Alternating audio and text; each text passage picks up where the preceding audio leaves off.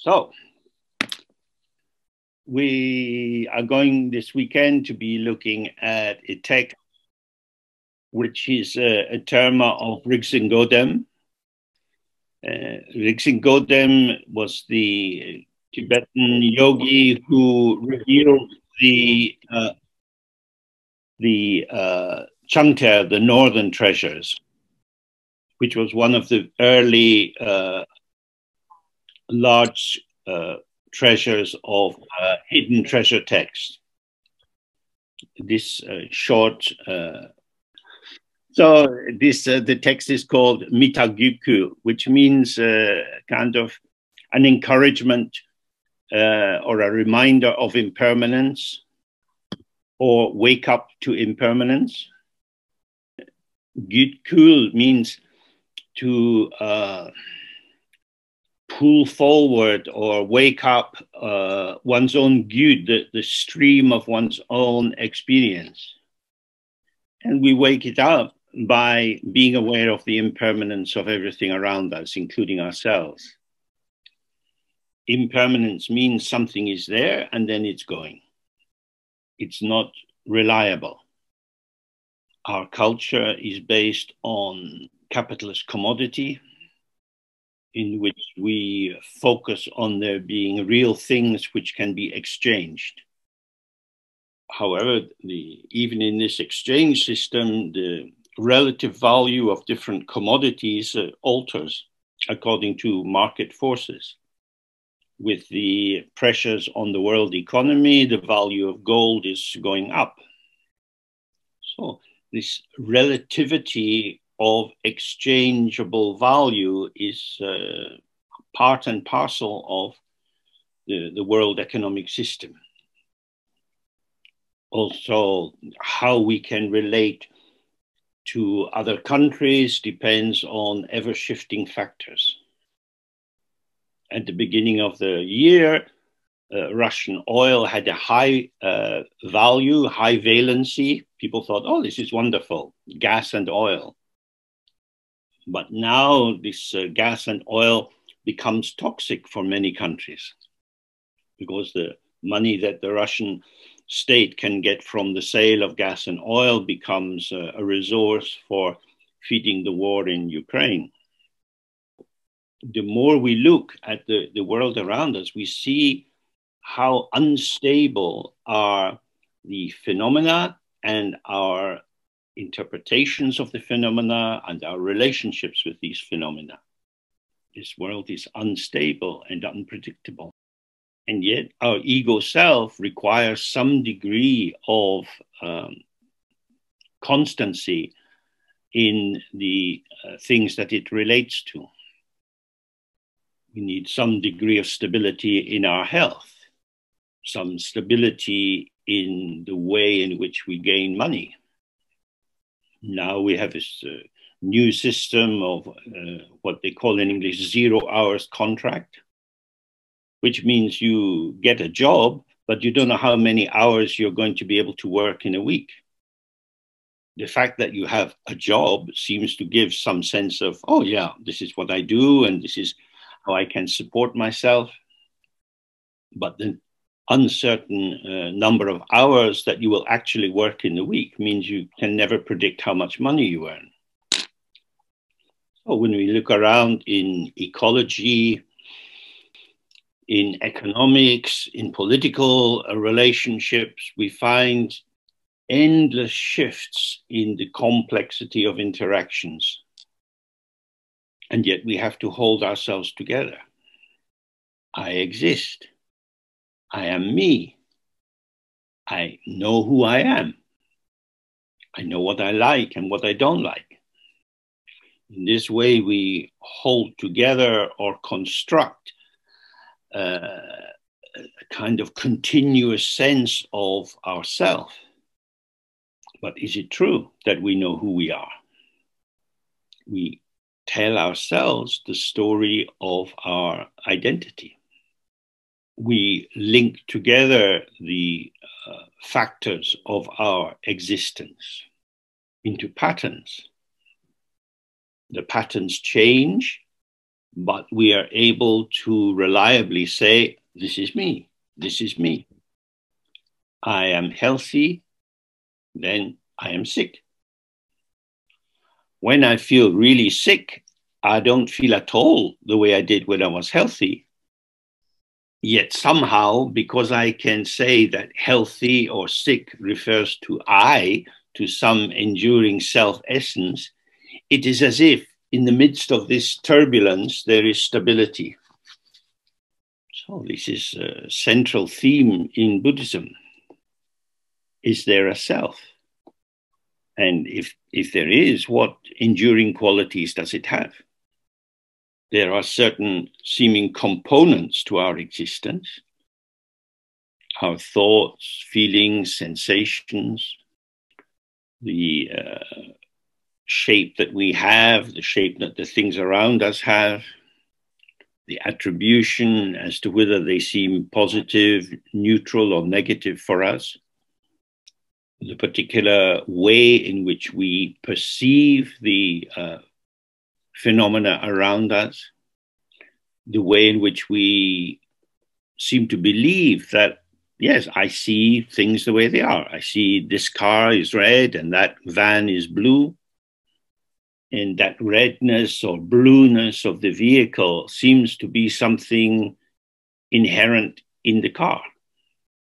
But, but of course, when we uh, observe how we are perceiving, we see that red and blue are interpretations of what is occurring.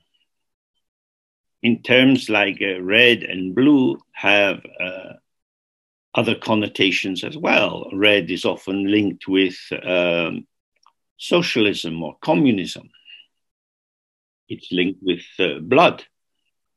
Blood can symbolize life because if our blood stops flowing, we die, but it can also indicate death if the blood flows out of us.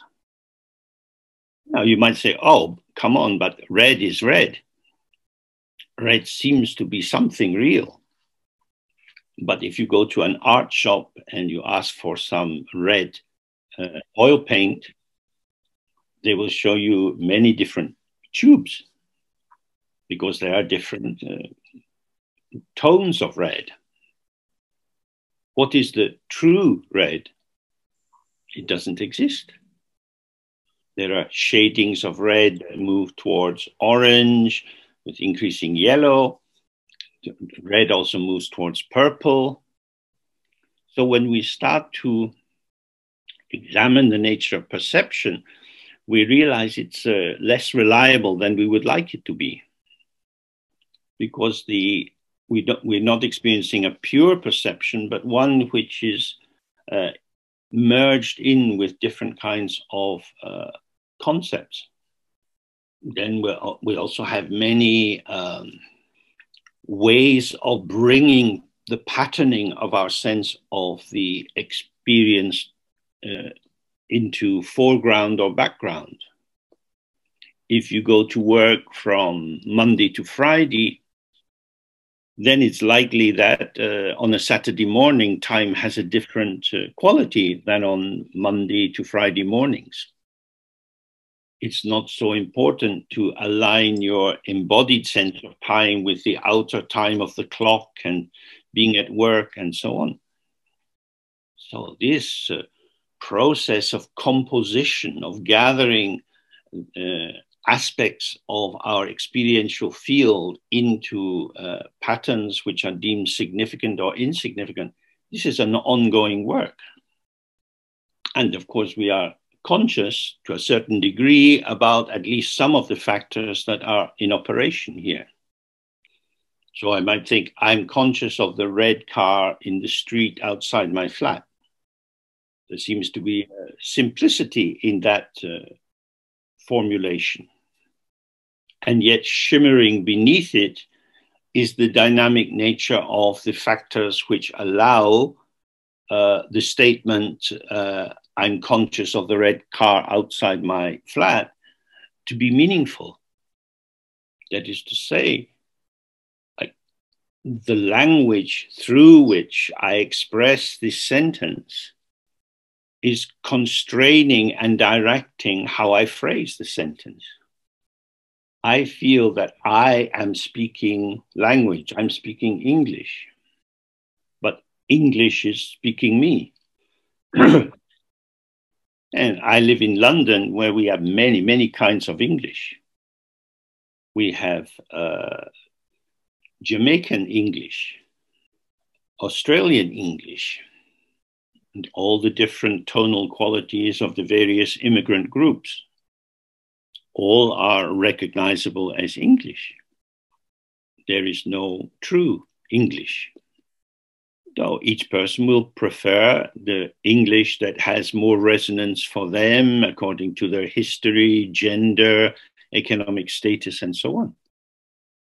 Some people become very upset if uh, they hear other people using the wrong kind of grammar or vocabulary because then maybe their tilt is on uh, comprehension and uh, predict and uh, reliability of phrasing, whereas someone else might be concerned with language as a playground in which uh, words can be uh, joined in unusual patterns.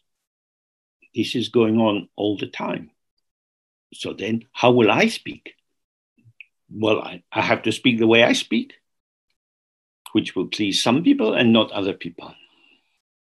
But also, I will speak in different ways with different people.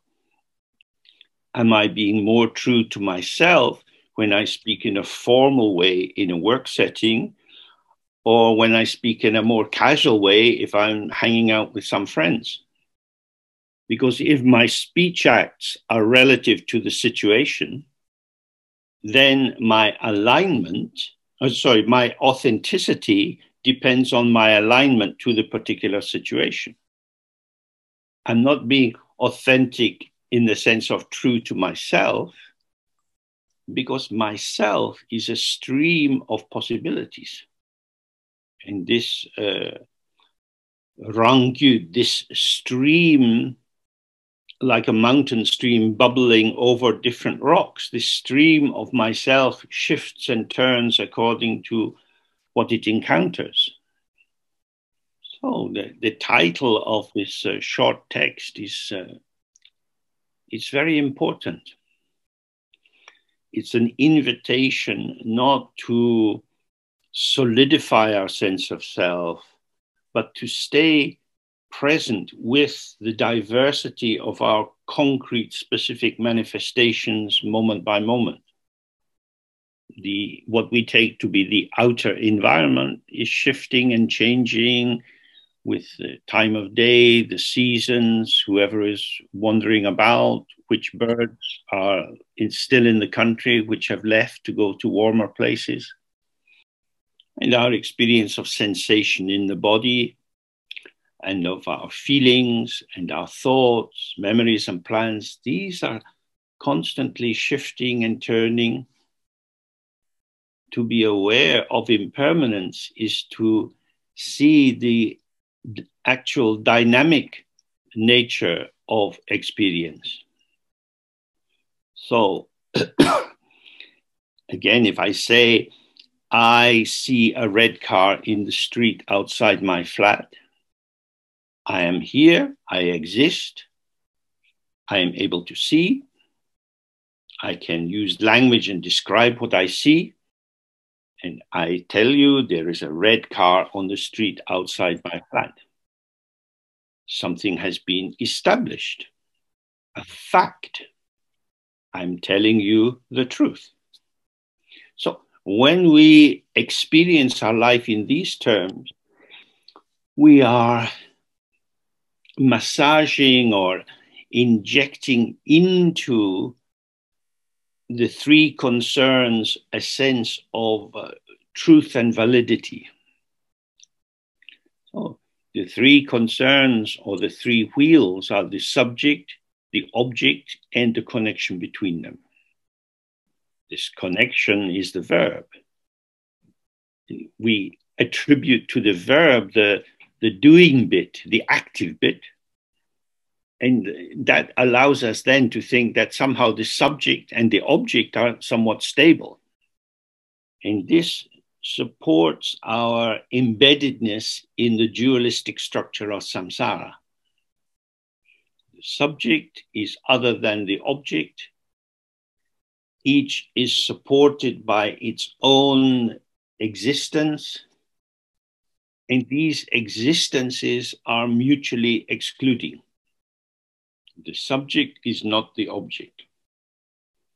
This uh, confirmation of the separate existence of myself is supported by the sense of the rejection of the factors of the other, of the, the trees, the birds, the people, and so on.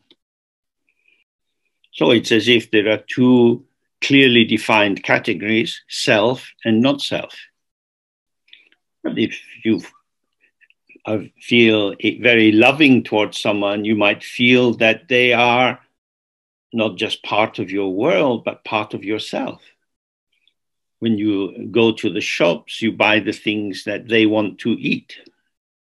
So it's as if they are inside your mind as part of the part of your own concern. May they be happy. But then the relationship gets more difficult.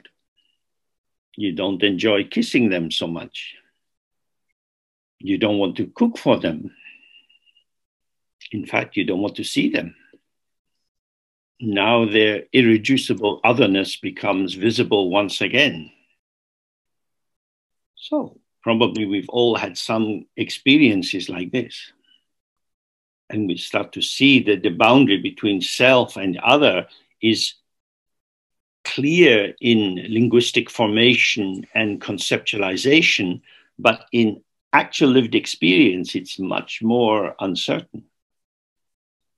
So the more we see the impermanence and unpredictability and unreliability of our own personal experience, we can start to wake up from the dream of our assumptions. We have fallen asleep in the dream of reality. As many of us have looked again and again, the teachings point out that all phenomena are illusory. They appear, you can, you can have an experience, you see, you hear, you taste, you smell, you touch. And this can be interpreted I am holding the teacup. But of course, teacup is an interpretation. The shape from the teacup can be used for many different things. the experience is something which is situationally arising. I say the teacup is real, but experientially, for me, the teacup becomes more real when I want to drink tea and less real when it's on a shelf in the kitchen. The value for me of the teacup is relational. If uh, it's not a very expensive cup and I drop it and it breaks, well, that's some money which I have to uh, spend to replace it. But if it's the last uh, teacup that I have from those I inherited from my dead mother, then it has a different meaning. If you look at the teacup, you don't see the echo of my dead mother. But when I pick up the cup, I think, oh, yeah, mom, you so many times together we drank tea this value seems to be in the cup, but it's in my mind. It is the mind which, through its reification, its uh, solidification, its uh, attribution of inherent existence, it's through this that the seemingly inherent value and reality of the object is established the cup is my mind. When we start to see this, then the fundamental duality of subject and object, inside and outside, valuable, not valuable, and so on, starts to thin and dissolve. So it's uh, there are uh, five uh, verses to this uh, encouragement. I just go through the Tibetan of the, the first verse. Hearing the, the sound is uh, believed in the tradition to make a, a connection to the energetic quality of the text. We tend to be overfixated on the cognitive value of uh, what we hear or read. But the text itself is uh, energy, because all sound is energy. When we laugh, that's a different feeling from when we cry. If you hear a child crying, you, you stop, you think, whoa, what's the matter? This is the energy of the sound. It touches you. And in the Tibetan tradition, the, texts are always read out loud because it is in the sounding that the cognitive value, the, the uh, abstracted intellectual value, and the energetic life of what is being read arise together. Mahanguru kya.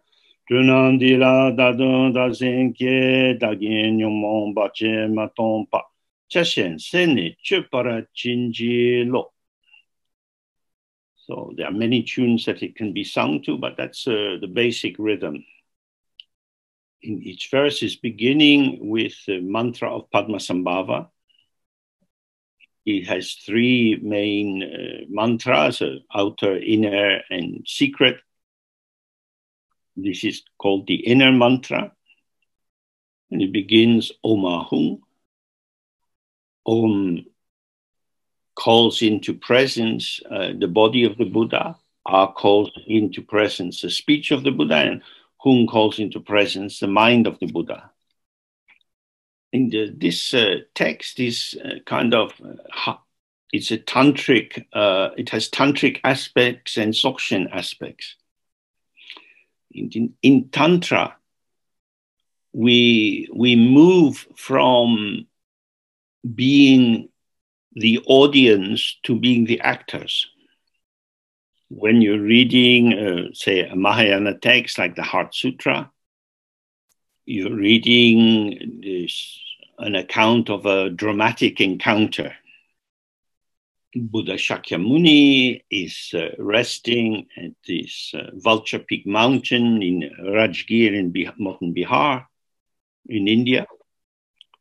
And um, in his, he's resting in meditation and uh, with the uh, blessing or power of that meditation, there starts to be a dialogue between the Bodhisattva Avalokiteshvara and Shariputra, the, uh, if you like, the representative of the Theravadan tradition. So as we read this, we're aware of some uh, conversation, some transaction going on between the characters. We're reading, sorry, we're, reading about what happened a long time ago.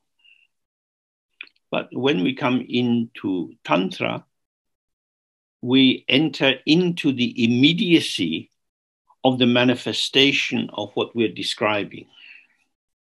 That is the thing. So uh, we each have our ordinary identity. This is who we believe we are and our family and friends and uh, workmates, they all believe, oh, yeah, that's who you are. But when you come into Tantra and you have uh, an initiation into a deity, you are introduced to the idea that all the factors which seem to compose your daily identity are not inherent they are like your clothes. the clothes that you wear on a particular day, they express something about your mood or the setting that you're operating in. But when you come home, might take off your clothes and have a shower. The clothes are lying scattered. They were you, they were part of your persona, part of how you were presenting yourself, but they are not intrinsic. So then you put on some other clothes. So the purpose of the tantric uh, practice is to uh, allow, introduce you to the naked quality of your own mind. And that the energy of this mind manifests in terms of body and speech.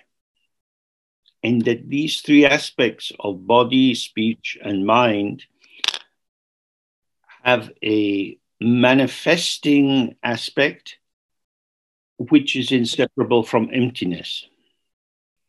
This apparitional quality, like a, like a dream formation, shows in the particular patterning of the deity of the initiation.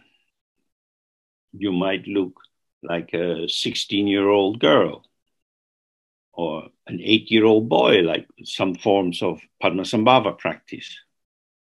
Very peaceful, reassuring, smiling face, like uh, Avalokiteshvara. Or a very uh, dominating and uh, fear instilling form like uh, Dorje Drolo. None of these forms are real. We want things to be real but the desire for things to be real is our ignorance and stupidity. A goddess like Tara is not real. This doesn't mean this, this doesn't mean she's a, a fantasy like some Hollywood fantasy, but she is form that is shape, you can see color and so on, and emptiness. So the mind itself is empty, but the energy of the mind shows itself as sound and light. And this, according to the practice, becomes yourself as Tara.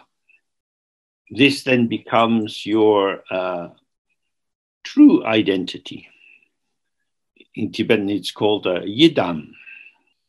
This is what binds your mind, your yid, to your true identity.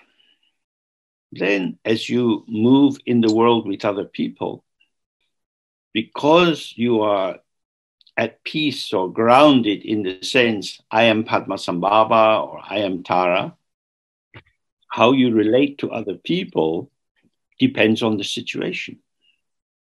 Your true uh, identity or your true sight of manifesting is an ungraspable deity. And this remains the ongoing truth of this is me. And due to conditions, you speak in different ways with people, your, your postures, your gestures change as you relate to them. This uh, flexible responsivity is arising as the potential of your true identity. Thus, my ongoing reference point is I am Padmasambhava. And if you annoy me, I might appear angry. Padmasambhava also shows an angry face. Tara shows an angry face as well. So if anger arises, independent origination because of something you say to me, and I catch the arising angry response coming through, then I can see, oh, there is no I that is angry, but there is anger. Uh, anger is a mode of the energy of the unborn open mind. And in this way, identification with the deity prevents the collapse into these uh, three wheels of subject, object, and uh, connective uh, activity. And we're not thinking about this, we are bringing ourselves into the immediacy of this uh, presence. Now, just as uh, in the theater, actors rehearse so that they are able to manifest a spontaneity in the performance. So, in the tantric tradition, we do a lot of recitations of mantras, millions of recitations. This is a way of allowing ourselves to be permeated by the energy of the particular practice so that it goes from our skin through our flesh into the very marrow of our bones. So that it's not me pretending to be Padmasambhava, but it's Padmasambhava manifesting different forms of James according to circumstances. This is the essential transformation which is at the heart of Tantra. Then the, next part of the mantra is Mahaguru. Maha means big, and there is nothing bigger than emptiness. Everything is inseparable from emptiness. You can't catch emptiness, it's not a thing. Thinking about it won't bring it closer. We awaken to emptiness when we see the ungraspability of all experience. Just now you're listening to speech.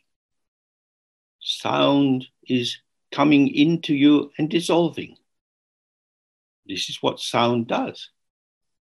It is a impactful patterning of energy which vanishes. The same with our body.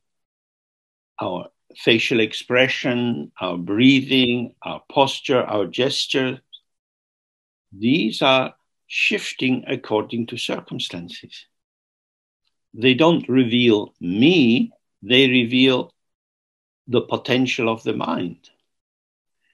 Guru means uh, teacher.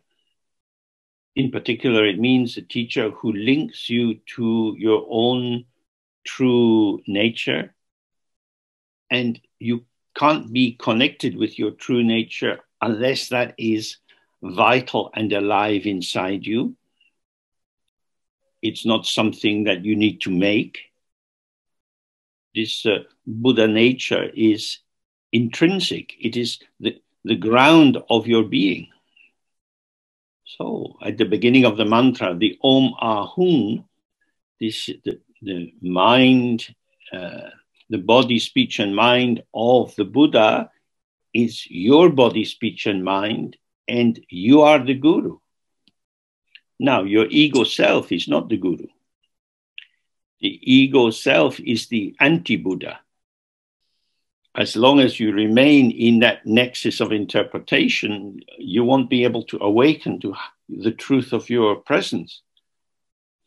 But the one who awakens is Buddha. As it shines forth, its light removes all obscuration. And in that moment, it is the guru. So we have the outer guru, the various teachers we might meet and get teachings and blessings and initiations and so on. But the inner guru is the primordial Buddha nature, which is the profound source of light. The function of the guru is to help you to see your own light. It is the emptiness, the ungraspability, and yet the immediate presence of your own body, voice, and mind, which is the energy of the great guru. Okay, let's uh, take a break here and we'll come back and go through the rest of the mantra and into the verse. So if we can come back at quarter two. Good. See, see you then.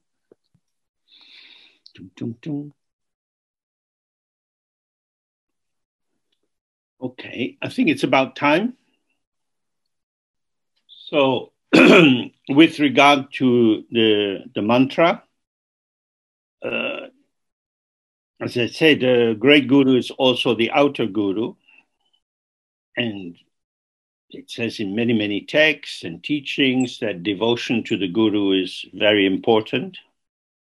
This is because the people that we meet in the shops and at work and in the family are wanting to confirm that their sense of who we are is correct. The usual transaction in samsara is I am real and you are real, and we will validate each other's reality. And the guru should not be doing that. The guru is someone who can see that in the moment of our manifestation, we are the manifestation of the ground potential and not of the ego self. In the in various ways, trying to say, don't get so identified with your clothes. In this life, you have a male or female body. In another life, it will be the opposite one, or as an animal, or in a god realm, a hell realm. That is that is to say, you are not fundamentally or essentially a human being. You are not fundamentally German or Spanish or Polish. Due to causes and conditions, these relative identifications uh, become the factors of our composition for a while. It is a great gift when people attend to our illusory nature.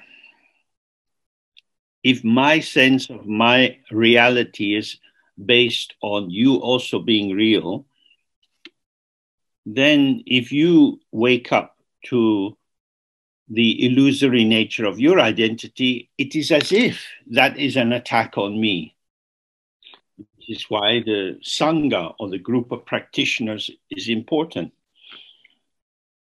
because hopefully we can interact with people who are also concerned with waking up. Anyone who doesn't take our existence seriously is actually a friend. Unfortunately, of course, in samsara, uh, the people most likely not to take our existence seriously are rather dangerous people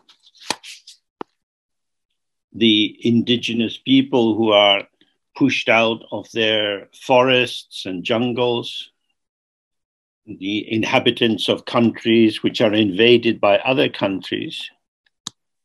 The lives and existence of these people is not taken seriously by the invader, but this is not a path to liberation. Because we have these two polarities, existence and non existence the persecuting invader says, You think you exist, but I can kill you. For me, your non existence is fine. I don't care. But the Mahayana understanding of illusion is the middle way between all these extremes. People are neither uh, truly existing or non existent, they are appearance and emptiness when we see the emptiness of people, we maintain the pathway of wisdom. And when we attend to the appearance of people, we maintain the pathway of compassion. And so we need to keep these two pathways or aspects together, collaborating. They're often compared to being like the two wings of a bird. They need to be uh, kept together and uh, in harmony. So when we do our meditation practice and we become aware of the illusory nature of our own presence, then this clarity is the is the is the function of the inner guru. Then the mantra continues Sarva Siddhi Hung. Sarva means all, all means as required. Siddhi is the power of connectivity, the, the power of non duality. We are always already connected with everything which is occurring. Every uh, plant that arises, every person, every animal is an aspect of our experience. And so this all the siddhis means all the powers, all the capacity to relate to whatever is occurring. That is to say, a siddhi is not something that you get and hang on to. It is a form of performativity, of uh, display and connectivity. And then at the end of the mantra is Hung. And Hung uh, activates the mantra. Hung is the side of the uh, non duality of the five poisons and the five wisdoms. So you can mobilize the diverse uh, energies which you already access, but with the insight into their empty nature. So, for example, if you get angry, you can be swept into the strong force of the anger. And that arises because you, as an ego self, have been impacted by something. But if you are resting inside the identification with the deity, so that your mind is the, the Dharmakaya, the mind of all the Buddhas. Your speech is Sambhogakaya, which is the um, the immediate uh, translucent, transparent presence of all the deities and your body is the Nirmanakaya, the apparitional or illusory formations which arise with circumstances. So, these, when we say Omahung at the beginning, we're evoking that is our positioning, and therefore our response to any provocation is the energy of the five poisons, but with the reification taken out so that they display as the five wisdoms. So the most general basic form of practice is, uh, is shamatha or shine, which indicates to uh, be calm. When we are calm, we don't react so quickly samsaric interactions are often very, very quick. So, as the mind calms and you see the groundless ground of your own presence, then there is space whereby you can respond, if required, without being pulled into dualistic reactivity. So, in the tantric system, the purification of anger is called the mirror like wisdom. Now, if you imagine a mirror, if you put something disgusting in front of it, it simply shows that. The mirror doesn't want to punch you for putting this horrible image in front, which is now reflected inside it. So, in that way, when the mind is able to see the actual situation, what is to be done? Maybe something, maybe nothing. Because this provocation is not getting to me, the provocation is being revealed in the spacious uh, clarity of awareness, which is like the mirror. So if you tell me that you don't like me, that's you saying something about you. Okay, thank you for telling me. But if I want you to like me and you say, James, I don't like you, then I hear your words as an attack on me. And I feel hurt and maybe angry too. The difference between samsara and nirvana is only in the nature of the experiencer. The experiencer of samsara is the individual ego self, which is vulnerable and uncertain. The ego self is a, is a construct. It has no inherent truth of its own. So when we come to the end of the mantra and we say Hung, this is a kind of, again, a wake up call, a reminder relax and open. So in the first, uh, excuse me, in the first line of this first verse, it says, uh, Jigten Nangwa Gyuma Golakang.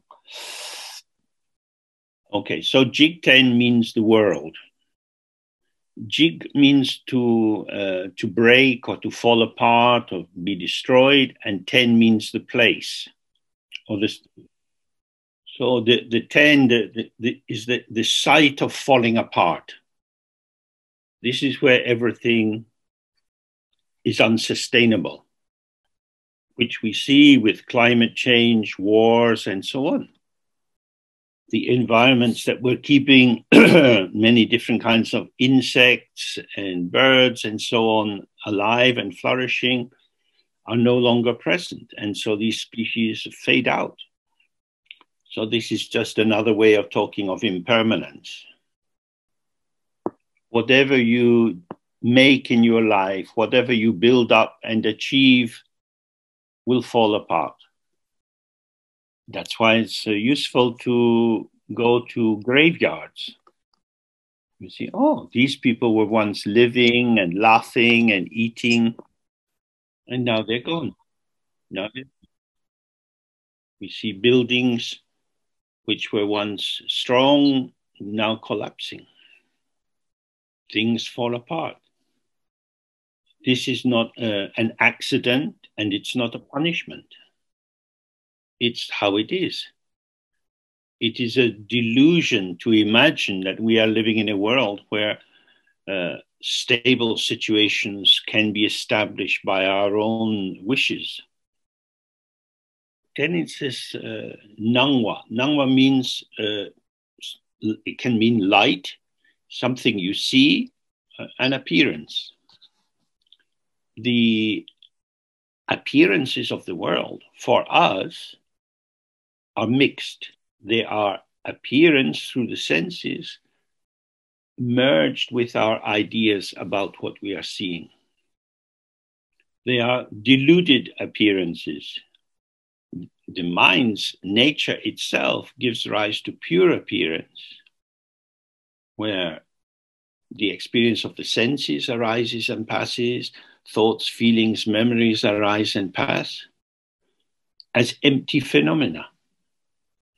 They, they can't be built up into something solid. Nothing plus nothing plus nothing is nothing. But when you believe that you see real cars and houses and people, this mentally fabricated reality seems to step out of nothing into one. Then one and one is two, plus one is three, and so on, building up these uh, composite images. So these worldly appearances, which seem separate and substantial with their own individual existence, they are actually illusory, like the mirage on the summer road, like the reflection of the full moon on a pond. It appears to be there, and yet it's not there. And it says Golakyam means I know this. I've studied this. And uh, who wrote this, he could teach it from morning to night and he knew it back to front. But then at the end of the line is Kyang, but towards these trulnang, these bewildering appearances. And for the ego, they're not bewildering because the ego is committed to stupidity.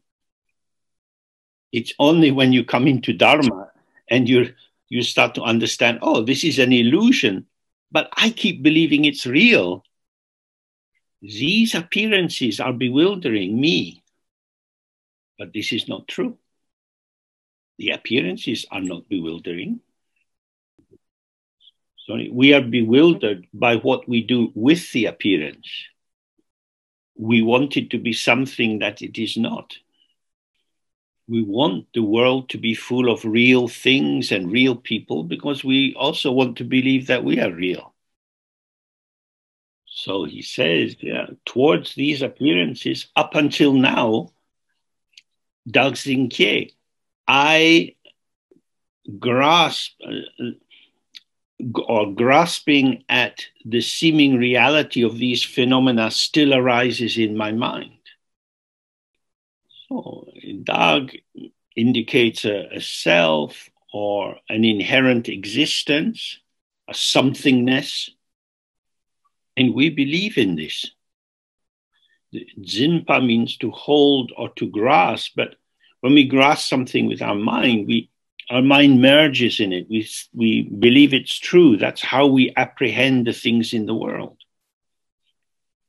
In the last word in the line is kie, means to arise or to manifest or be born. The sense that objects truly exist is itself not self existing. It is something which arises. So, this is very, very important for us. It means that samsara is not like a prison, samsara is much more like an addiction for the person who is smoking cigarettes. Each cigarette is a new aspect of the identity of being a smoker. We can say, oh, that person smokes 40 cigarettes a day. They're, they are a real smoker. But in fact, they are doing smoking 40 times a day.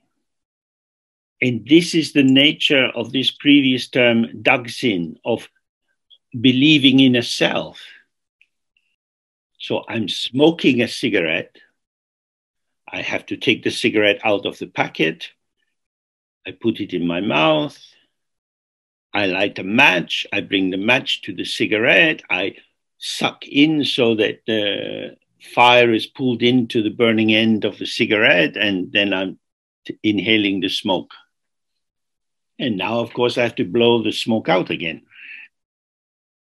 And then I have to suck it in again clearly smoking is an activity. But out of this dynamic, ever moving activity, I manage by a perverse alchemy to manufacture a fixed identity. I am a smoker. And because I am a smoker, I need to remember to buy more cigarettes. So here we see the, the term uh, that was at the beginning of the line, trulnang, the, the deluding appearance is the mental formation of I am a smoker and the presence of entities, cigarettes, which for me are desirable. There is no essential reason for extracting this seeming doer of the deed or essence of smoker from the activity of smoking. So if we see this, this is the door to liberation. Because I am imprisoned inside my beliefs about who I am, how the world is, how other people are. I take myself and others to be identifiable, knowable entities. And this is the mental obscuration or the opacity of the mind that does not clearly see everything is movement. When we see that these thoughts or impulses or tendencies arise in the mind and vanish, then we see arising and passing, arising and passing.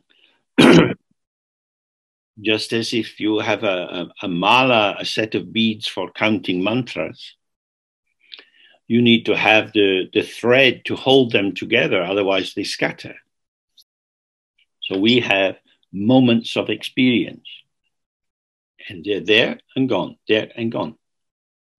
But the thread on which we string them is our belief in the existence of separate entities. So, next week I will go to Poland. I will arrive in this airport I've been in before. I'll be back in the same place. It will be the same because I can call it the Chopin Airport. So, is this the Chopin Airport? Yes. Okay, I've been here before. This airport is an enduring entity.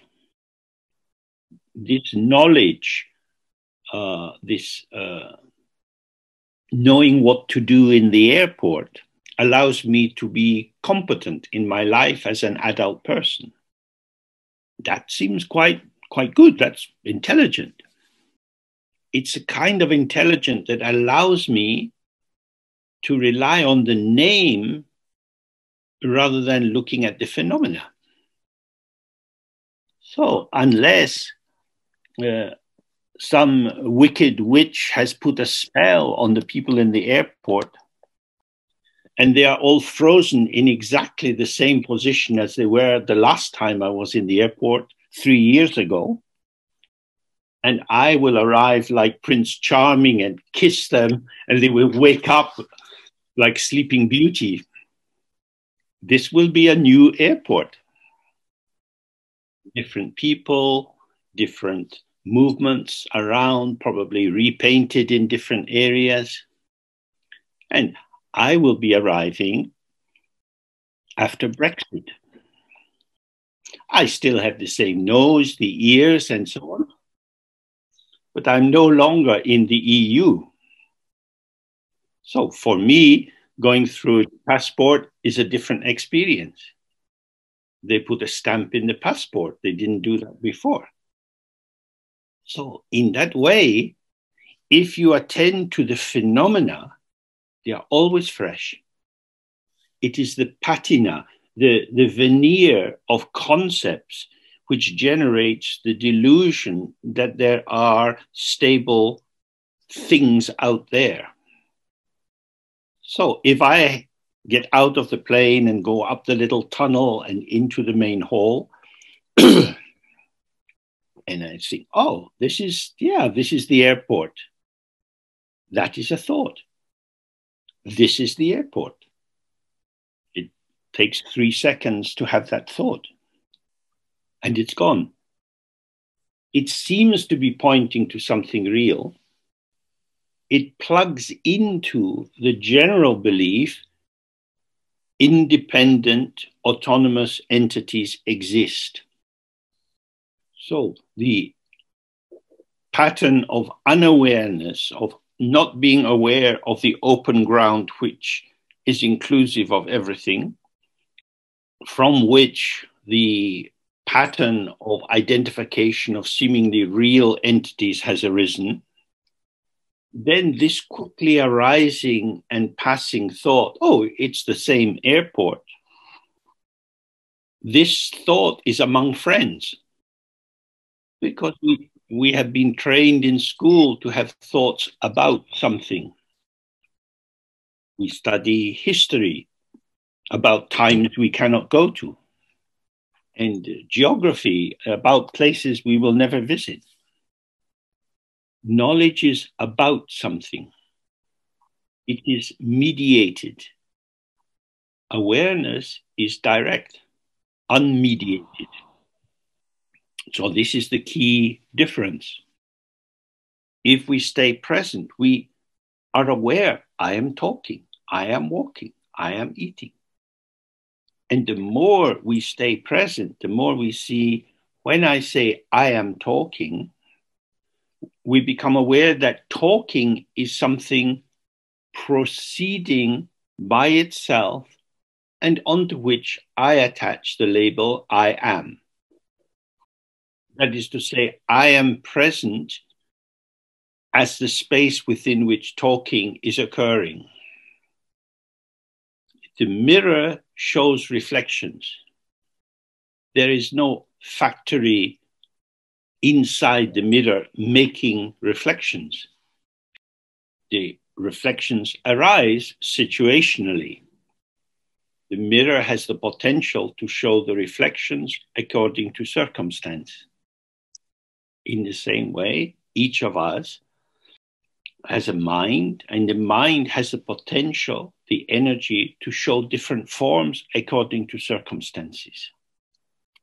I am aware of talking coming through what I call me. So, when an experience arises, what is the ground of that experience? On, on a relative level, the ground is my own habit formations. But when I observe myself in the moment of speaking, I find that I am saying this. I wasn't there, as it were, before I spoke, thinking, what will I say?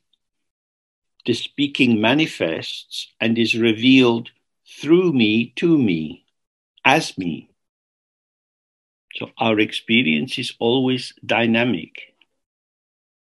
Although the patterns of concepts that we use can quickly generate a density in which it appears that there is a doer of the deed. So in the next line, he's saying, uh, Daguignon, these uh, poisons that I have, which are part of my way of being, they are troublesome and obscuring. So when we are full of desire or anger or jealousy, uh, there is a, a, kind of constriction in our availability. It is as if our open presence is conditioned by these factors and uh, it is then as if they are who, who we are. All of these uh, afflictions have the quality of being pervasive. We are suffused by them. In the way, if you put some boiling water in a cup and put in a, a tea bag, the, the color will spread out through the water desire, aversion, jealousy, pride, they, they fill us up. They become our color, our coloration, our flavor. And this is because the ego self is absorbent. The ego self, although it wants to be uh, autonomous and omnipotent, is part of the whole has no independent uh, reality and is dependent on interaction for its existence. Just as our body needs to breathe in and out, so through the senses, the mind is receiving uh, experiences of the world mediated through our mental consciousness, which reifies the experience and this is then uh, further intensified by the consciousness of the afflictions, which uh, brings these uh, flavors into them, into the moment. This, is, this indicates to us that our ego self is hollow.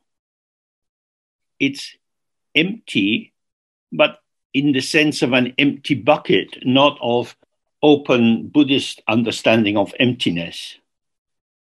So it's always trying to get some new experience or some content out of the current moment of the field of experience.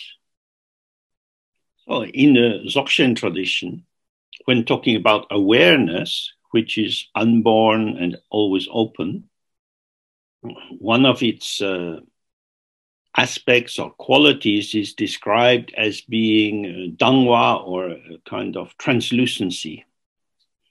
So, in the traditional example, if you take a, a, crystal ball and you put it on some red cloth, it will look a little bit red, and then you put it on blue cloth, it will look a little bit blue. So, you could say that the color of the cloth seems to spread through the crystal ball. And then when you take it off the cloth, the color is immediately gone.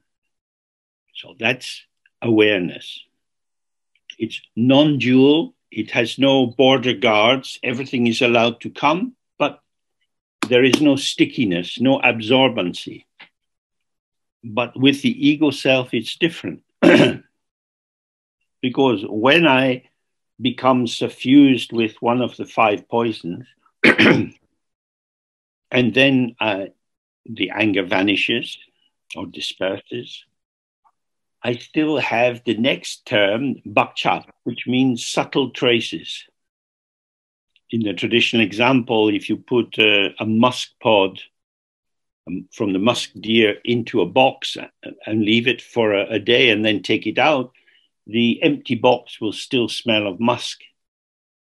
So these subtle traces predispose us to further experiences of hungry merging with experience. So I'm I'm not finished. And then it says matongwa. I'm not finished with these patterns. They are still operating in me. I I'm not in the moment of their arising, I am not a relaxed, open presence that allows them to come and go. I find myself as the subject who is experiencing the anger or desire.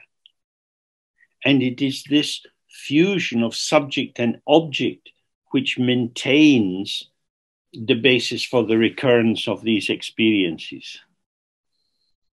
Now, coming to the last line of the verse, uh, it says, Chak Shen means desire and uh, hope or longing. This is a kind of basic neediness. This is the quality of the ego self. I am not complete in myself. I need these things to make me feel like me. So the, this is the, the vulnerability of the ego self, which is a delusion and because it's a delusion, it has to reinvent itself again and again. And that's the, the hunger of the ego. So we can read the last words of this line in two different ways. One is to say, Please bless me by cutting the root of all hopes and desires. Because uh, sedne means from the root you want to extirpate, take this out from its very root, which is unawareness. And then it says, Chinji Lo, bless me. So you can recite this, praying to Padmasambhava, please do this for me. You are the great, big, strong one. Free me from this uh, limitation which is destroying my potential. But uh, we can also read it from a more uh, Dzogchen point of view, because this verb chöpa means uh, it's cut. So then it says, if you like, bless me so that I wake up to the fact that the root of desire and hope or attachment is already cut. It is already cut because samsara has no root of its own. All phenomena in samsara are empty. It's not that samsara exists and we have to uh, get out of it and go somewhere different. But because when we see that everything is arising, that this is dynamic experience, what could we grasp? Even the concepts which seem to establish something definite, they are directly without any existence. So when I think, ah, I've been in this airport before, it's arising and passing. It's a thought which doesn't establish anything as an objective fact. It is an ephemeral experience within the ceaseless surge and flow of the ocean of ephemeral experience. Samsara has no root the root of samsara is belief that samsara exists. We believe in Mickey Mouse, which is very useful if you have invested money in um, these uh, factories where they make the plastic forms and the films of Mickey Mouse. There are Disney worlds in Europe and in America because Mickey Mouse is uh, really a Nirmanakaya of the Buddha, he can manifest many different forms in different places. And if you go into Disney World, Mickey Mouse is smiling and waving his big hand at you. Small children find it easy to believe in Mickey Mouse. Big people are thinking, how much money am I spending to look at plastic? we are like this. The Buddha says, ah, this is uh, plastic. This is ersatz. This is not, uh, it's not what you think it is.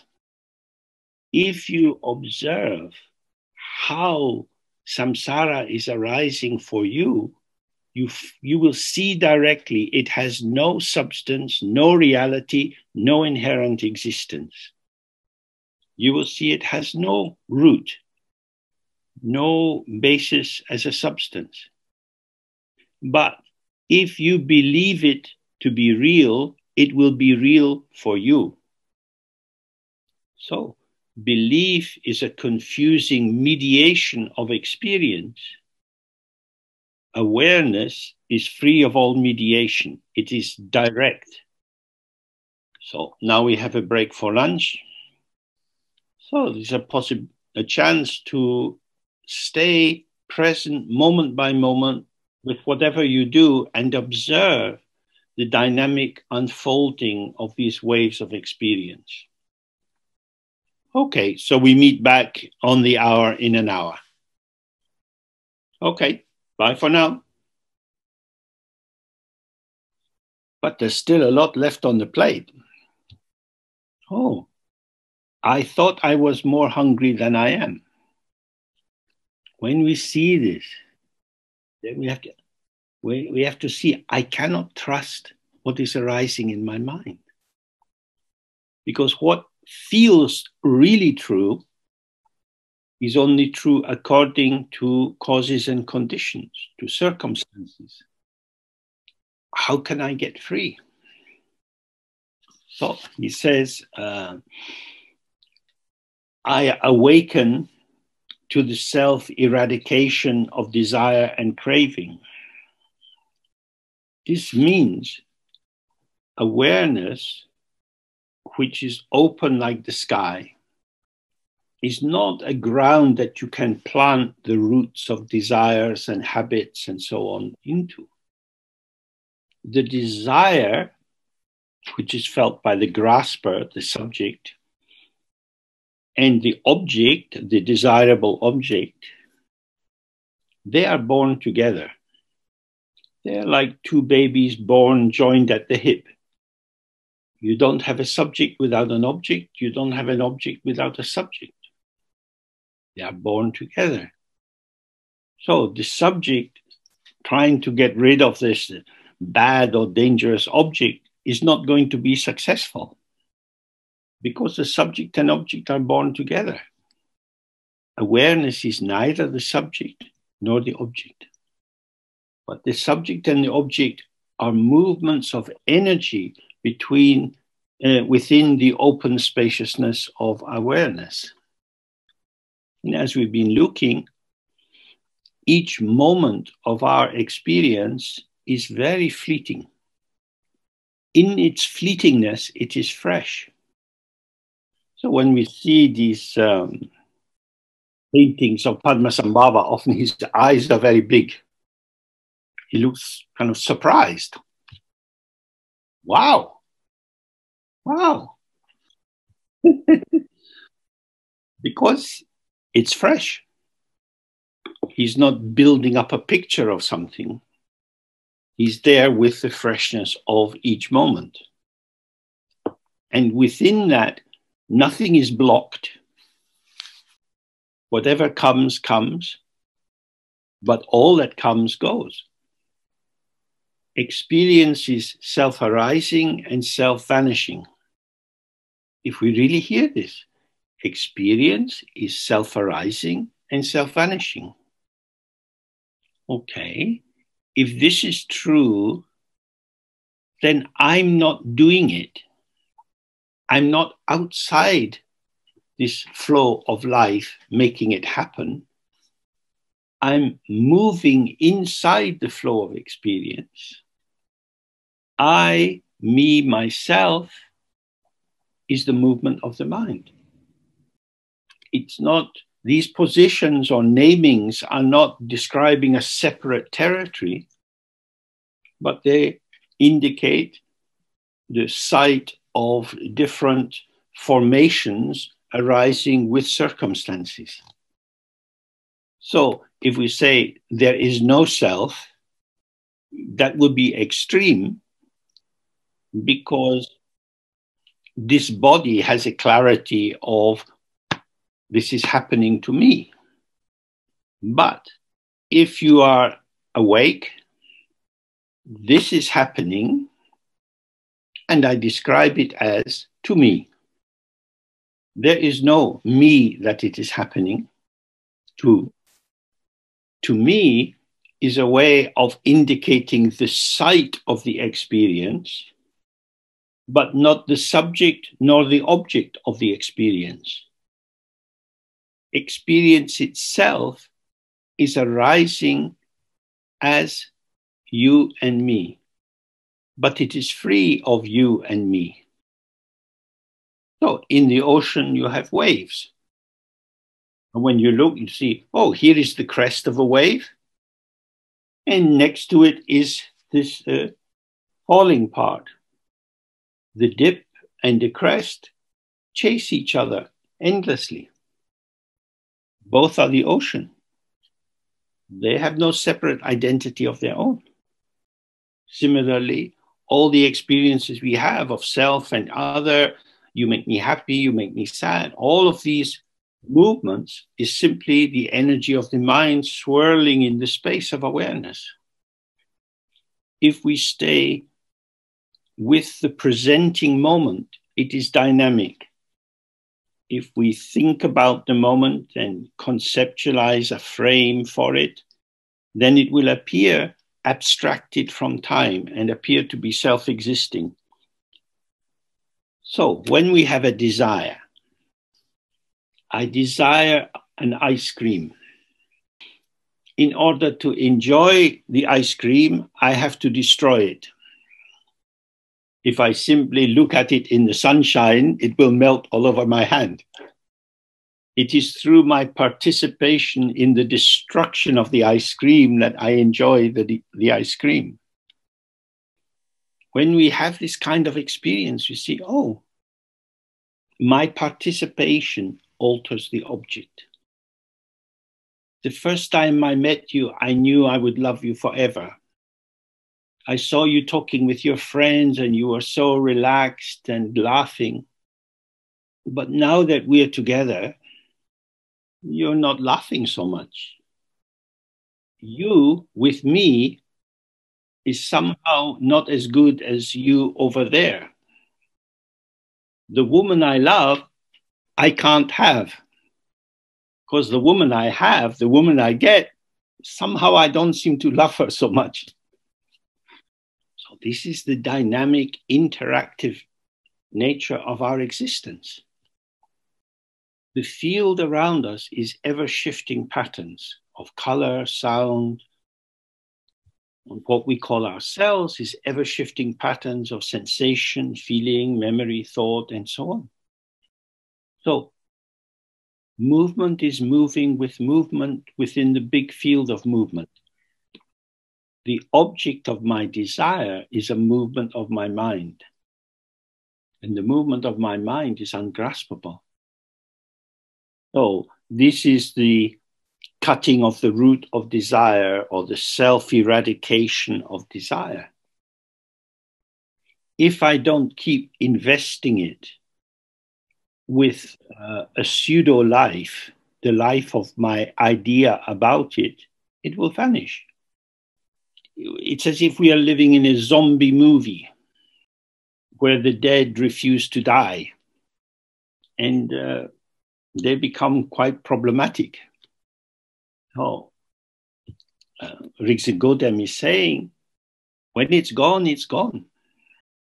When you when you desire and you crave for something from the past or something which is not here, you're in a mental world. And when it comes to be here, the actual present presenting of phenomena, it is what it is, and it's not what I thought. Some years ago, I went on holiday into Tarifa in the south of Spain, and lying on the beach, and the wind starts to blow. And without going to a beauty parlor, I got a gentle exfoliation as the sand was going all over me. This was not the, the quiet beach I had imagined. Because this is impermanence, all phenomena are changing their form. And then the key question is how shall I inhabit this actual moment. It's not what I thought it would be. It's not even what I wanted it to be, but it is what it is. And this is it. This is all there is. So how to give myself to this? So, in, in our practice of Dzogchen, we, we, we want to make sure we don't approach life with a big shopping list and a big plan. Because then we are preoccupied, we're already filled with ideas, and there's not so much space just to receive and respond to how it is. But if we can stay with this openness of the mind, then desire, craving, aversion, jealousy, they go free by themselves. In the Tibetan culture, they, they have a notion of your share. Share, your share. What is your portion? Say rancha means like uh, your karmic share or your share in the family. You, this is your bit. This is uh, very helpful if you can see in life what is what is yours, what what doors open for you and what doors close for you then this is the circumstances of your life. As uh, Namkhai Norbu said, you have to work with the circumstances. You can't trade them in for someone else's circumstances. So, how do we bring our potential of creativity and plasticity and resilience into play with the contouring of our life as it manifests? And mainly, we, we do this by relaxing and releasing ourselves from our fixed patterns of hopes and desires so that there is space for this fresh moment to show itself. So, generally, we do this uh, through the simple Guru Yoga of the white A. Letter A represents emptiness, the unformed basis of everything. And we imagine a white letter A in the space in front of us, surrounded by rays of rainbow colored light, which represent the, the potential of the clear light coming from the sun of awareness. And we make the sound of A three times. We're releasing ourselves from all the uh, preoccupations with sensation in the body, with memories of the past, plans for tomorrow, all the various clutter which seems to fill the space of our presence. And then, with the ending of the, the sound of the third ah, we let the ah in front of us dissolve and we just rest in this open spaciousness. The surface of the earth is uh, allocated as something uh, owned by different countries and different corporations. And you can make borders between countries and put up barbed wire fences and so on. But, but very difficult to do this in space. Space itself has no top or bottom, no sides. You can't fix a point on it and then take uh, it to another point. People try to do this, but it's simply uh, their own mind that they are mapping. They're not mapping actual space. So, in the same way, when we relax and release into this space, it is unowned territory. It's not even a territory, it's just unopened expand, unowned expanse. So we sit like this, open and relaxed. Sooner or later, the colonialists arrive. The, the ego arrives and says, Oh, my mind we want this kind of resident, but not these ones. Kick them out. My territory. Whenever this arises, and we're into judging good, bad, right, wrong, don't try to change this pattern of interpretation. Just remain present and open and allow these patterns of activity to arise and pass the colonizing ego requires belief in it and identification with it to gain power. It has no power of its own. Okay? Uh, it requires our belief in it and uh, identification with it in order to gain force because it has no power of its own. Okay, so we do the practice together a little. ah.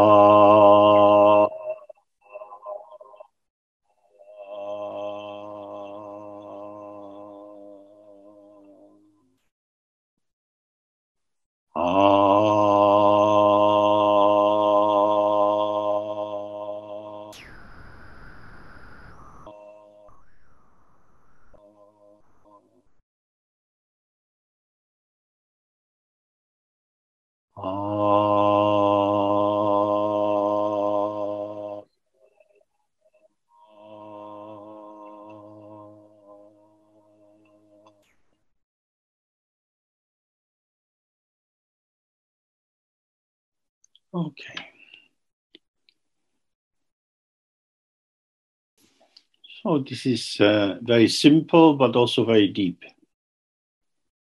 If you're new to doing the practice, you often find that there, are some kind of commentary thoughts that arise in the mind.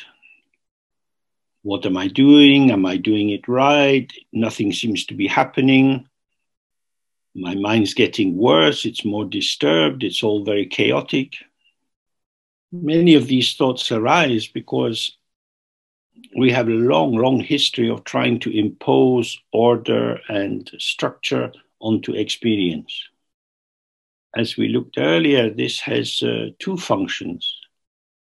One is it gives shape to the world. I say this is a house, this is a tree, and so on but it also gives shape to the shape giver.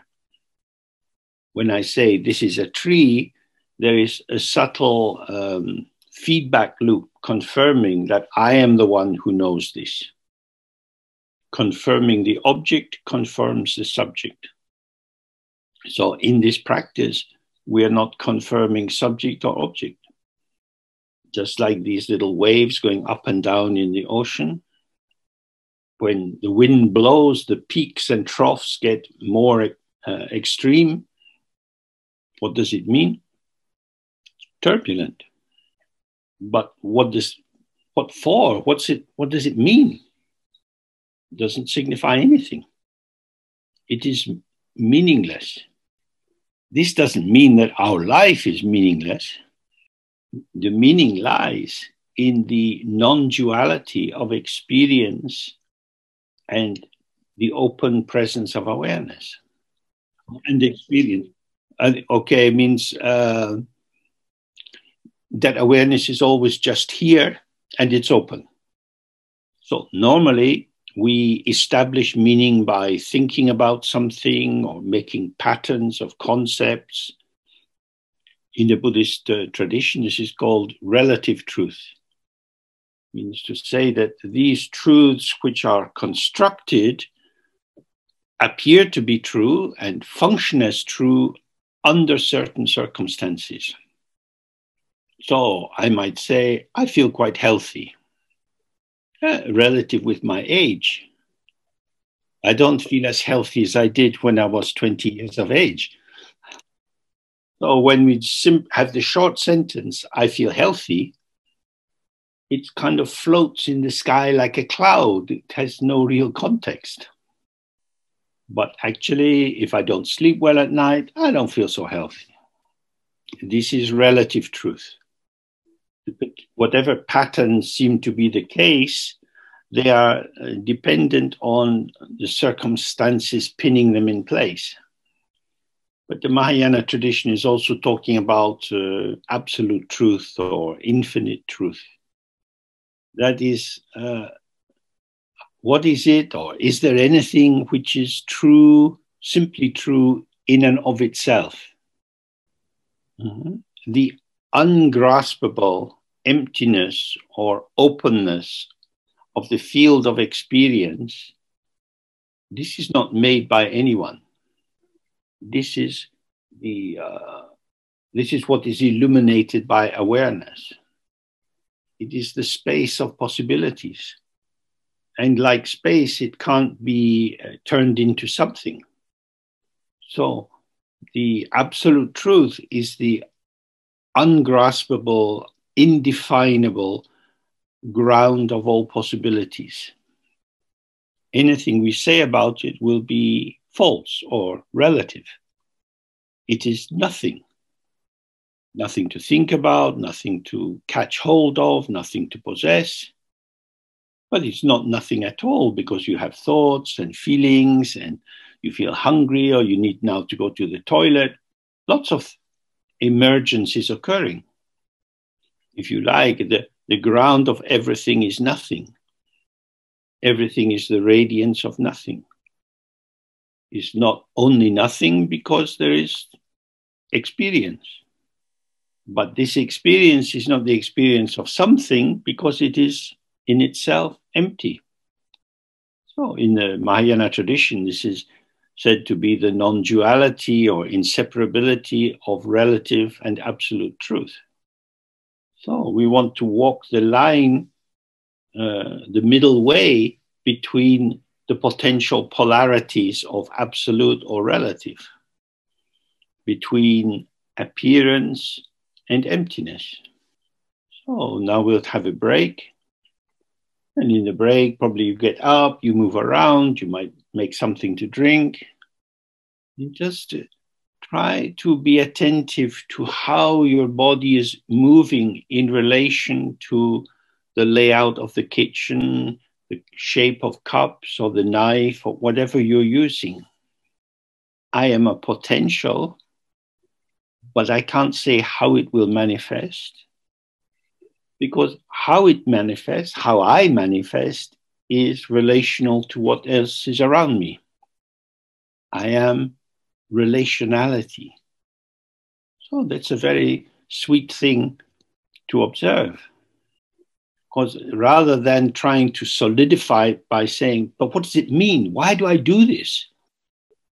Its validity is in the self validity of this moment. If a feeling and thought of, I want a coffee arises, then the body has to go towards the coffee no amount of mantra will turn tea into coffee. So you find yourself in this pulsation of connectivity. Okay, so if we start again in half an hour at 10 2. You then. Okay. So hopefully you can see from these verses so far that they are concerned with the kind of uh, problems that we ourselves face.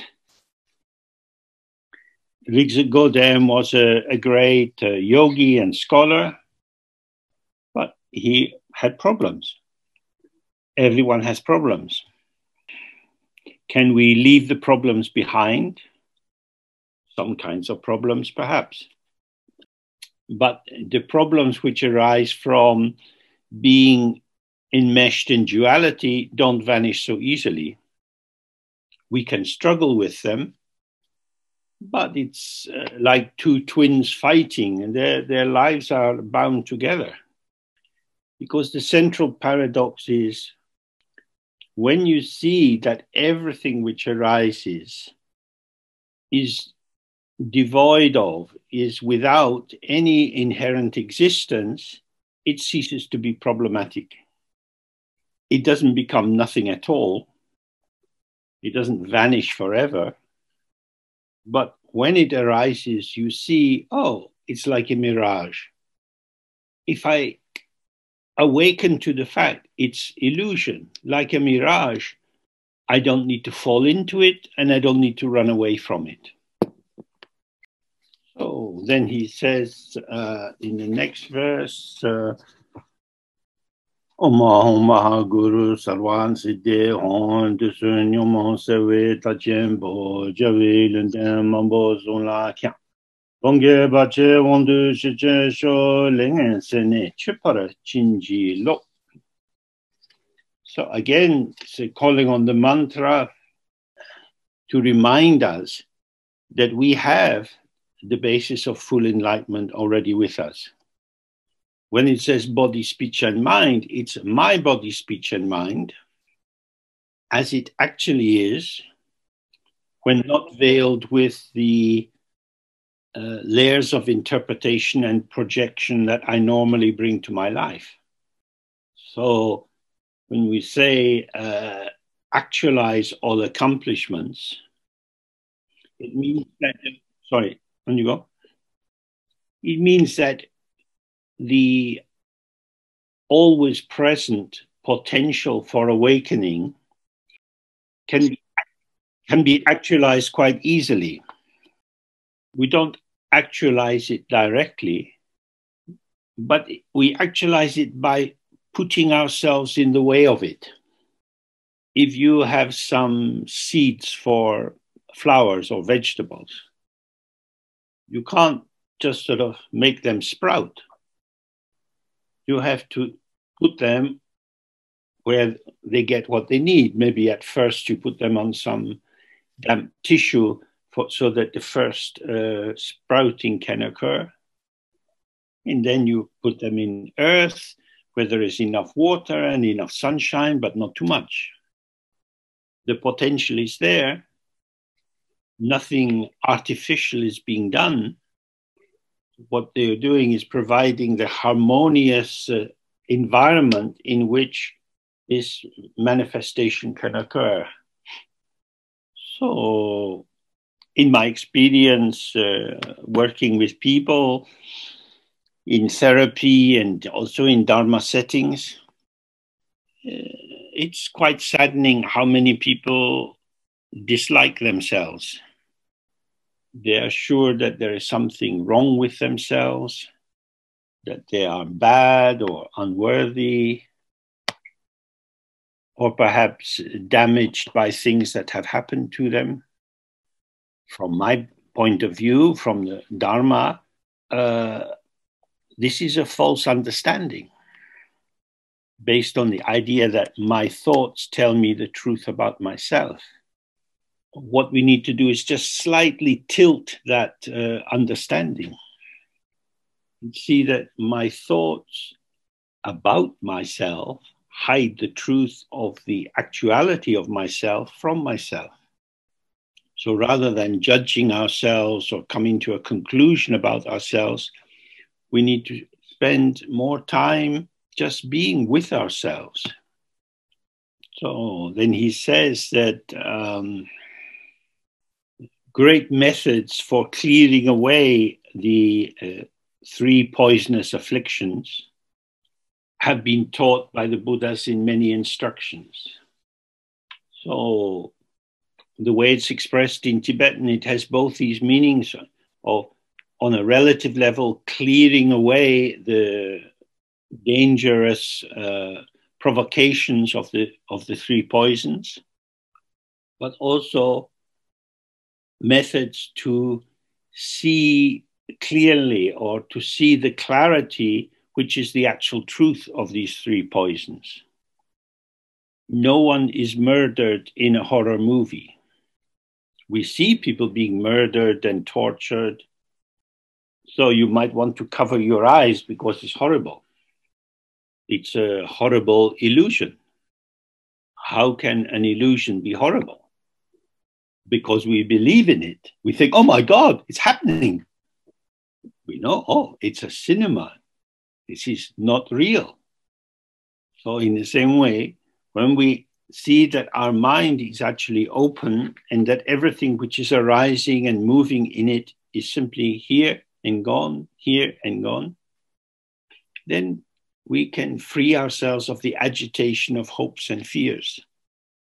Good, good situations come and go, and bad situations come and go.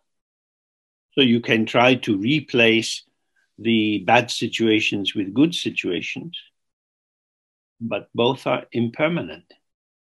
Liberation doesn't depend on the quality of experience which is occurring, but in seeing the non duality or inseparability or non difference of the experiences which were, are occurring and the ground openness which reveals them. Then we see the clarity of them. Looks bad, but isn't. Like with the mirage, looks like water, but it isn't. There's no need to rush towards the mirage to get water. When beautiful, happy making illusions arise, we can, sorry, we can open to them with the clarity that they will vanish when they vanish.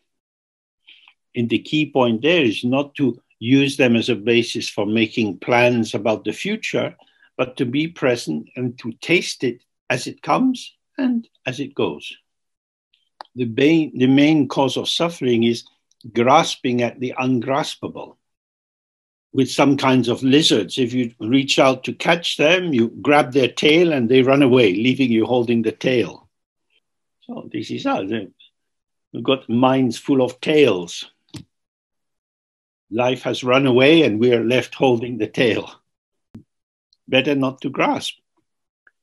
But that's easy to say.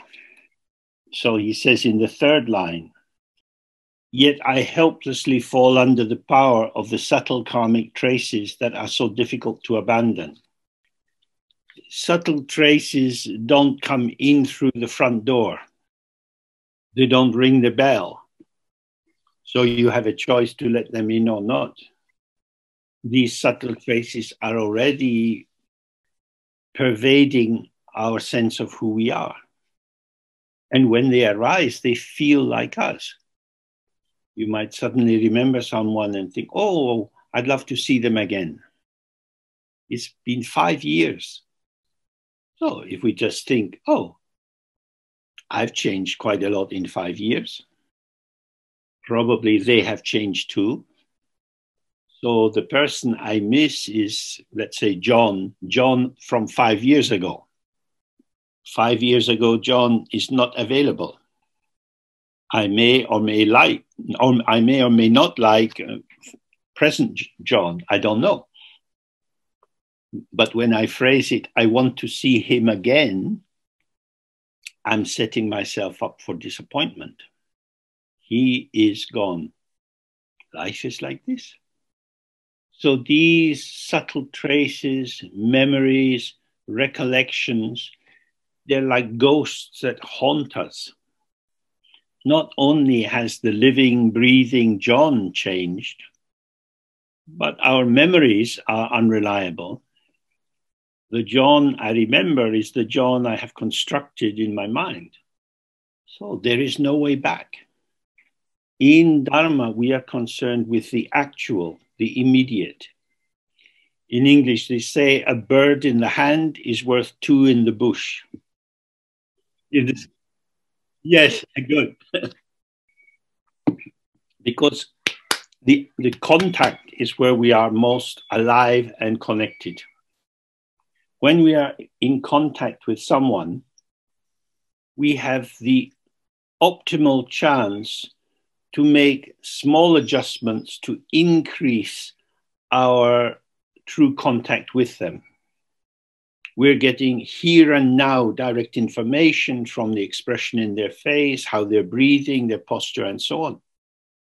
By receiving this immediacy of how they are in this moment, the freshness of their presentation, if we really let it in, will help to wash out the cobwebs of our remembrances of how we think they are. We wake up to, oh, this is you. And this is a revelation. You are not a thing. What will I do with you? All I can do is try to stay open. And the quality of our contact may allow some deep conversation or going for a walk or could be anything but it will arise through the meeting of these two. The key thing is to move with availability into the world. So, when he's describing the, the power of these subtle karmic traces, these are thin veils which block our availability to the other and our capacity to receive the other. Now, if if I am truly, authentically staying open to the other, there is a, a subtle movement of leading and being led. One person speaks and we respond, and they receive what we've said and they respond. And there's a pulsation of connectivity. But perhaps that uh, finely tuned quality of communication is not as uh, frequent in our lives as we would like. Very often, conversations are a choreography of serial monologuing. And then we go close to each other, but passing like ships in the night. Because we are each traveling on the trajectory of our own karmic dispositions and interests and obsessions. So these subtle karmic traces are very important to attend to. Sometimes with, with the meditation, the, the main uh, advice is just relax and stay open and don't pay attention to whatever is occurring. And that is important. But it's also important sometimes just to pay a simple attention to how we get lost how we seem to merge into some habitual idea or current anxiety. In ordinary language, we would say, I got lost. I lost myself in that feeling. Maybe my mind wasn't very open, but at least I was mindful. I was kind of, I am here, a little bit solid, but I am here. And then I was in this little riff of thought and feeling, and then I was out of it. So, in that moment, we see that I had slipped into the availability of the ego, the empty ego wanting something to hold on to. It's not that I have made a mistake. It, it, this is a, a structural problem rather than a personal problem once unawareness of the open ground manifests, the mind, the, the consciousness manifests in terms of the duality of subject and object. And the subject is always looking for the right kind of object in order to feel okay. So the subtle karmic trace is the feeling, oh, this is important. I need to follow this thought. Or, oh, I give myself to the feeling. It's not so much a conscious decision, but you find yourself in it. It's as if it just happens, but there is a, a predisposition, a pre-formation which is waiting there. So if we can recognize this in ourselves without entering into judgment, we can start to see the, the stickiness of the desire for existence. I am someone. I am empty appearance. I am awareness and emptiness, clarity and emptiness, appearance and emptiness. Sounds not so interesting. I exist. This is me. And eh, let me tell you about me. Now we can get to something quite solid. No, James, you awareness and emptiness. My God, how are we going to have an evening in the cafe if we just em- awareness and emptiness? Can we at least have awareness, emptiness, and a bottle of wine? The ego always wants something to happen, something to be the case, even if it is uh, suffering or difficult. So, again and again, most of us in the practice have to breathe out, relax, and come back to the middle way between existence and non existence. And then we find that that middle way is not a kind of thin line between the polarities, but is in fact like a, an infinite point. Sometimes we call this a tigli. Because the tigli is like a ball, it has no corners, no sides. You can't say this is the top or the bottom. And it can be a tiny, tiny point or open and include everything. So when we have this sense, then whatever is arising is within the open hospitality of awareness. From this point of view, the radiance of the mind is very generous. Each moment of our life, there's a lot happening color, shape, sensations, and so on, coming and going. If we accept this transient display, it's quite satisfying in its diversity.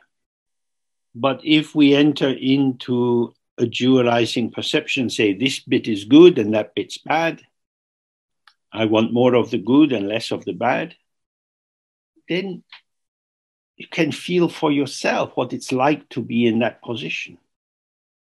Like if you were a child and you, you were taken to some other family's house to eat. And you say, Mom, I don't like this food. Your mom says, Hey, they're not going to poison you. It's food. Just eat, eat it. At least eat some of it. No, I don't like it. Then we see the, the anxiety in the child to get the familiar blocks its capacity to be grateful for what it's actually receiving. So it, the food was not poisonous, it's the reaction of the child that is imbued with the, the three poisons or the five poisons. The immediacy of phenomena is pure. It is our own interpretations which add these differential values. so that's the, the power of these subtle karmic traces. There's already a kind of twisted attitude. We're, we're not in an open hearted welcome. So he says, uh, I awake to the self eradication of bad actions. So, bad actions arise from the ego self. The ego self arises from unawareness of its own ground. When we, when we are not aware of our own open ground, we say, I exist. And because I exist, I like and I don't like. And then all the bad actions flow from that. So the self eradication of the bad actions is means simply to rest in awareness. We cut the root of the bad actions not by doing something, but by offering no sustenance to them. Our limited or intense habits have no energy of their own. They gain energy by our commitment to them that we want to steal or lie or cheat. The thought doesn't do anything. We do something with the thought. It is our availability to duality which binds us into this endless uh, toing and froing.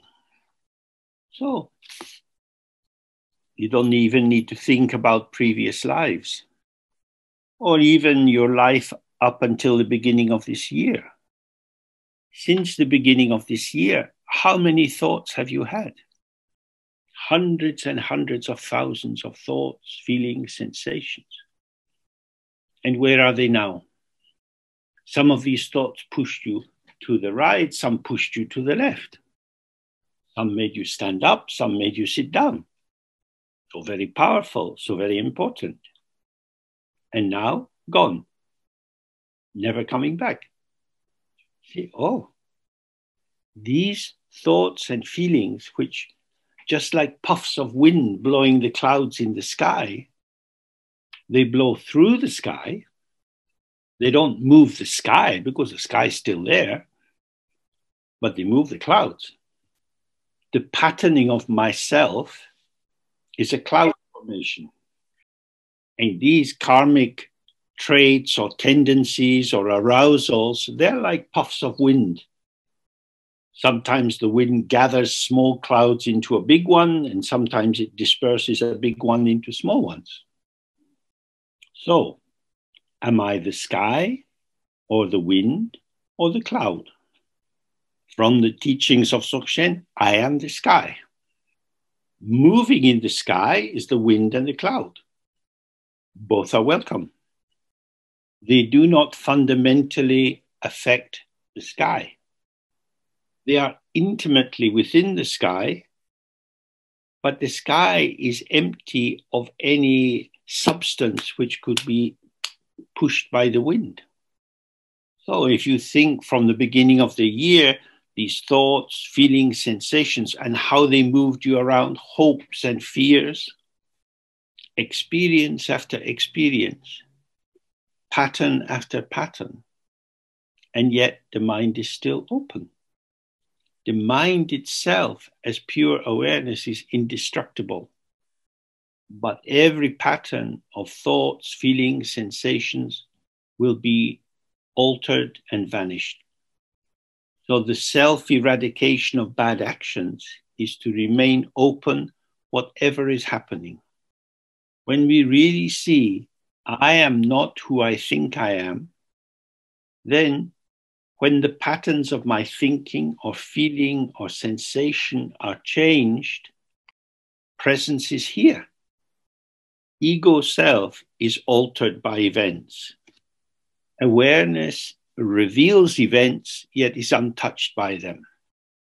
This is the fundamental principle of our practice and why we we're not into making antidotes and constantly trying to adjust ourselves. So then he says, uh, Om Ahol Mahanguru Sarvaside Hon Chiken Lanken Deman Tabe Ken Tamche Kepe Nazu Gyan Dube Samandro Ransen Charbu Charwas Chinji Lo. So here he's talking about the the movements in the field of our experience. Qi Qian. Qian is a kind of secondary cause. So, for example, a seed would be the primary cause, the gyu, and then the sunshine and the water and the quality of the earth, these would be the secondary causes or the conditions. So the outer conditions that we find ourselves in, the world around us, uh, what the people are like, every city that we're in has some streets that it's probably not very wise to walk down at night time. If you choose to do that, you increase the, the risk of being robbed because there is a, a mood or a, something in the air in these environments where crime is more likely than in other parts of the town. Then we have these uh, inner uh, secondary causes or conditions. So that would be the state of one's uh, attention to what's going on. So if you've been drinking a lot of alcohol, you're not so aware of what's going on around you and then you have a suddenly occurring events that would be like you're a bit unstable on your feet and someone bumps into you. And you turn to look at them. And while you're doing that their colleague has his hand in your pocket and your wallet is gone. You weren't expecting it. It is as if it just happened but it could only happen because these other factors were in operation so you can also use this to look at the, how this uh, war in Ukraine has started. The outer cause was the uh, spreading of NATO and the relative uh, poverty of Russia, the general dualistic structure of winning and losing, because when there is a conflict, there's winning and losing. And the inner cause, people in the center of power ruminating that they have been robbed, they have been cheated by NATO, we were once so big and powerful. And the regret and the rage that comes from it is cooking just below the surface. So this would be like putting a pan with milk in it on a low heat. The heat, the, the milk is now warm and you just need to turn up the gas and it boils over the pan. So these suddenly occurring events, we're never quite sure what impact they're going to have.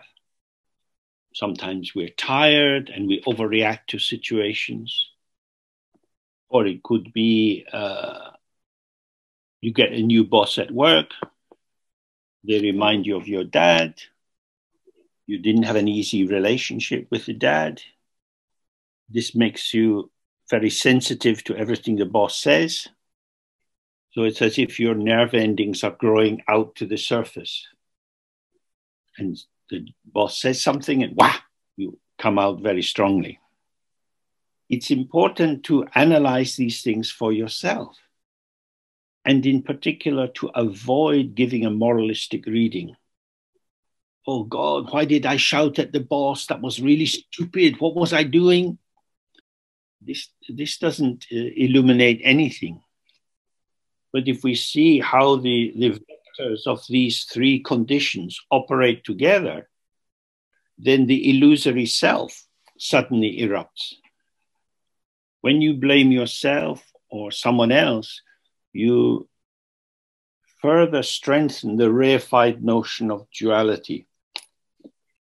But as he says in the next line, all these situations arise from the root of belief in duality. For example, you go to the bad part of town because you hear that there's a very nice restaurant there. That restaurant is very good. I want to go there. This is duality. You need to eat. Yeah, but that one is special. That's an idea, that's a mental construction. If necessary, you can have a sandwich. Food is food. Ah, but that place is special. In that way, duality is driving the notion of hierarchy of objects or situations. I've been working hard. Life is difficult. I deserve a good night out. Well, again, this is an internal dualistic dialogue. And that prepares us to leap into situations which are not so helpful. Th- what he is saying here really is life is not secret, life is self revealing. if you pay attention, you will see how these structures function.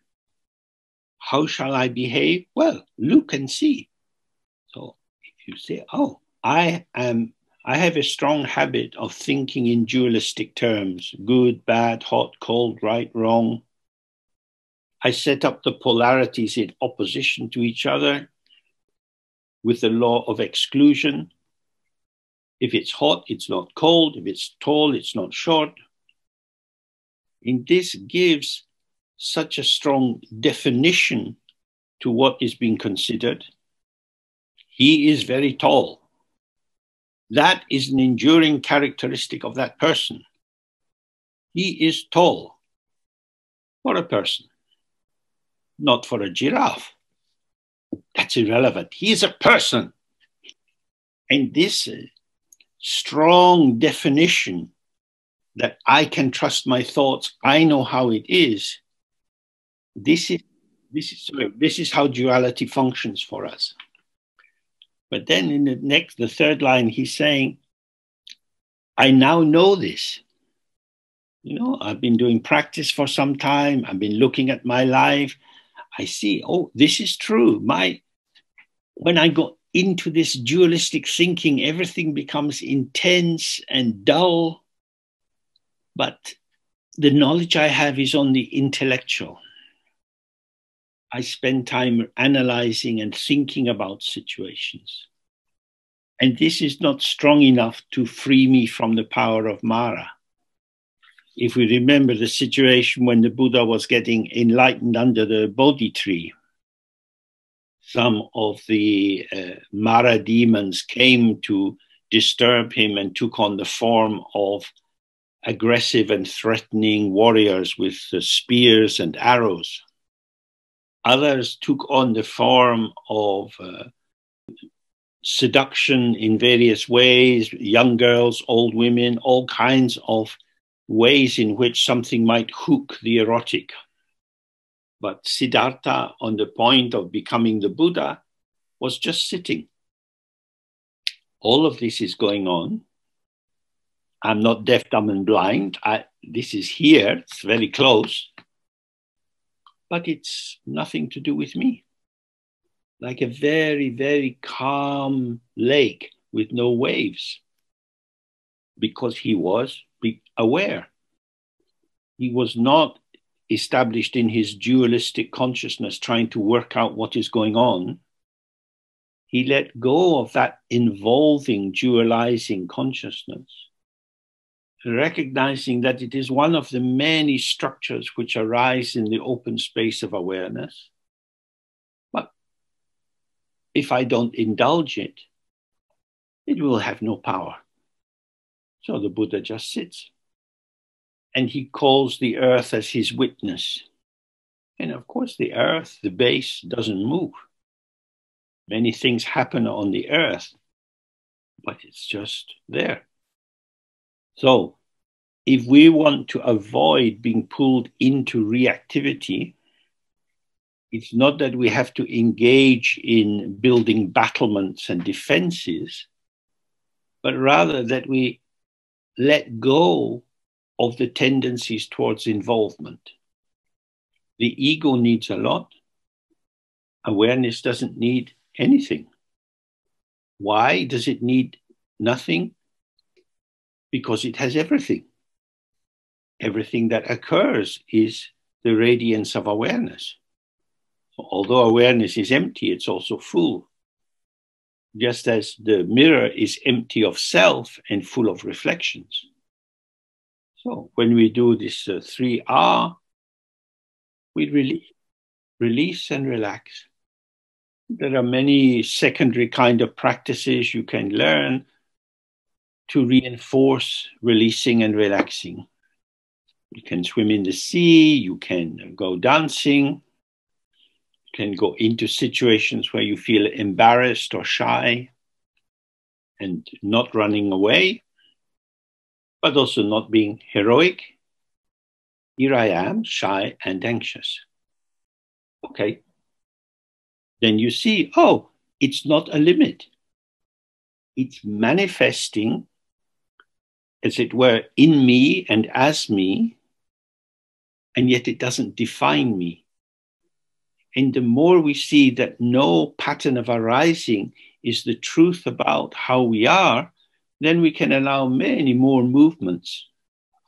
So then he says, uh, I awake to the arising of my naked awareness. Means I'm not going to struggle to change the content of my mind. From the very beginning, our mind has been naked and open.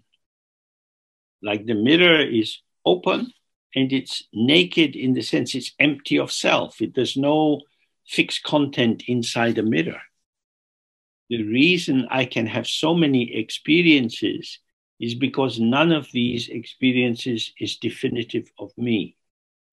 So awareness arises in the sense like the, the sun arises in the morning, the dawn light spreads out through the sky. The darkness and the light are not enemies. Sometimes the mind is very dull and nothing is happening. Sometimes we're a bit manic, our body is agitated, and we have many, many rapid thoughts. Allow it because it is. There's not much you can do. If your mind is like this, it's like this. But if you say, no, I don't want my mind to be like this, this is not right. What you do is you shrink yourself. I don't want to be contaminated by this. And that shrinking is how you come to inhabit the ego self.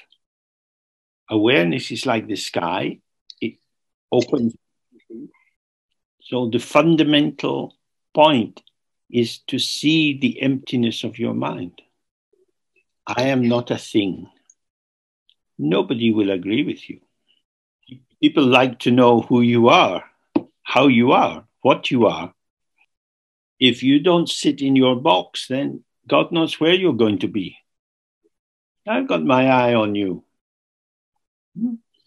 So every state and every ego structure has this uh, fascistic tendency. But in meditation, we leave all that behind. We simply open and allow whatever comes to come, whatever goes to go. That's exactly what Buddha Shakyamuni did on the night of his awakening. You're not the victim, you're not the master. You're simply open and present with what is arising. And by having such a openness to these many different flavors of experience, without effort, you have more capacity to respond to different situations when you get up from practice. So tomorrow we go on to the last verse, which is a little bit longer, and it's di- dealing more directly with uh, how the mind truly is.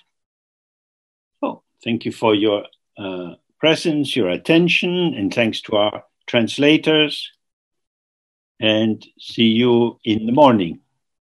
Okay, bye for now. Bye. Bye. Bye, James. Bye bye. Bye. James. Bye, bye, Yeah, everybody. James. Thank you. Thank you. Bye bye bye. Bye, bye, bye. James. Thank you. Okay. So we had uh, five minutes of dependent origination, working out how everything connects together.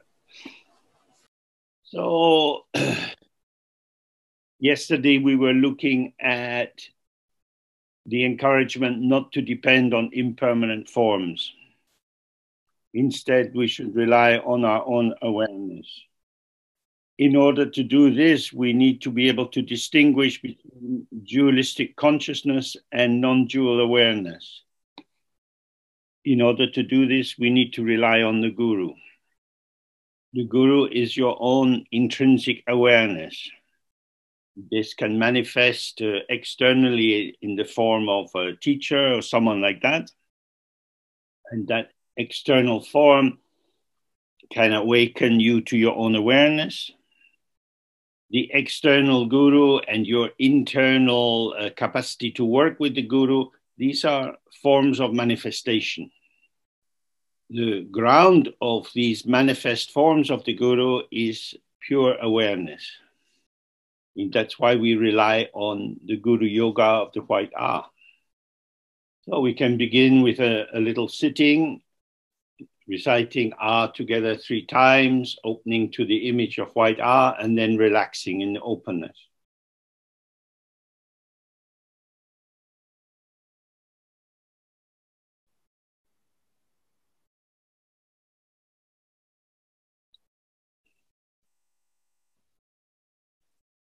Okay.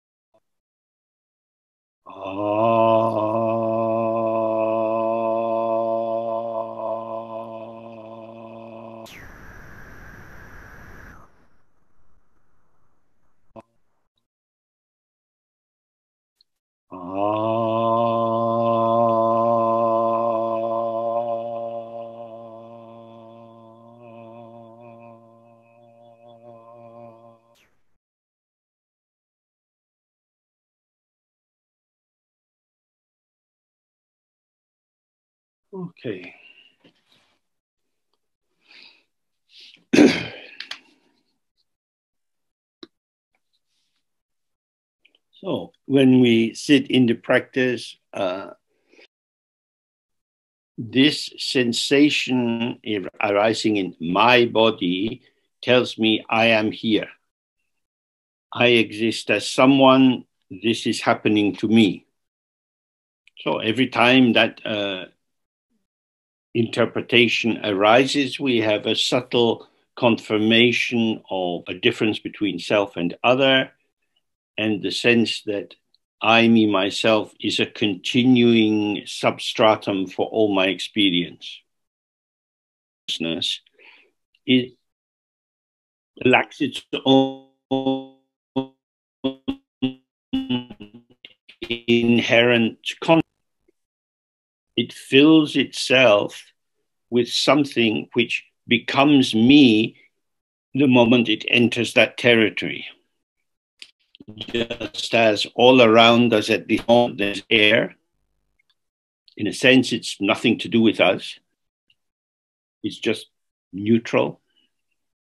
But as soon as we breathe in, some of that air is coming in to our lungs, and in that moment, it becomes my air. And then I breathe out. I release my air into the air. And in that moment, self is taken out of the air. Then when I breathe in, this sense of I, my air, is invested into the next batch of air, which is filling my lungs. Interesting. Identity shifts and turns so quickly identity is unstable. But the ego says, I must have some identity, and it doesn't matter what it is. The capacity the ego is to identify with a wide range of possible occurrences and to say, this is me or this is mine, which is driving our experience of our life. My world is an interpreted world. And inside that system of interpretation, the most perverse interpretation is to say that my world is objectively there. My world is real and it's out there. As we looked yesterday, this blinds us to the fact that what we actually experience is experience itself. And this experience arises immediately it's not the conclusion of something. We can, of course, think about it, elaborate it, invest it with feelings and so on. But in its immediacy, in the moment, it is not done by anyone. It would be ridiculous to say it has nothing to do with me because this is my life, this is what's happening. On the other hand, it's not mine because I'm not making it. It is revealed to me And in that moment of revelation, it is as if it is me. So, with our uh, familiar uh, image or metaphor, if we consider the mirror, the reflection is in the mirror. It's not the same as the mirror because the reflection will vanish. And yet, as long as that reflection is in the mirror, it is as if that is the showing of the mirror. That is how the mirror is in this moment. The reflection doesn't define the mirror. We could say it's a showing of the potential of the mirror, but it doesn't limit the potential of the mirror to show many other reflections. Since you woke up this morning, you've had so many different kinds of experience through your senses, through your memories, your plans, and so on. And these uh, experiences have been present and then gone. They are true in the moment, but non definitive of a self. You feel hungry, then you eat, and then you don't feel hungry. When you were hungry, it, it was undeniable that you're hungry. But when you've eaten, if somebody offers you more food, you say, No, thanks, I'm not hungry. So the intensity of the feeling of hunger is in no way definitive of the truth about you. That is to say, the hunger seems to be referring to me, but this me, this sense of my own existence, is not something which can sustain any specific situational definition. So, this is very important for meditation. When thoughts, feelings, and sensations arise, they seem to indicate that there is a, a referent. There is something there which the thought is referring to. Say, for example, I feel cold. The cold is referring to me. But actually, it's just my back that feels a bit cold. My arms don't feel cold. Yet, I would say I feel cold. If we can catch ourselves in the moment of speaking or thinking in this way, we realize how the formulations that we make about our experience have no true validity.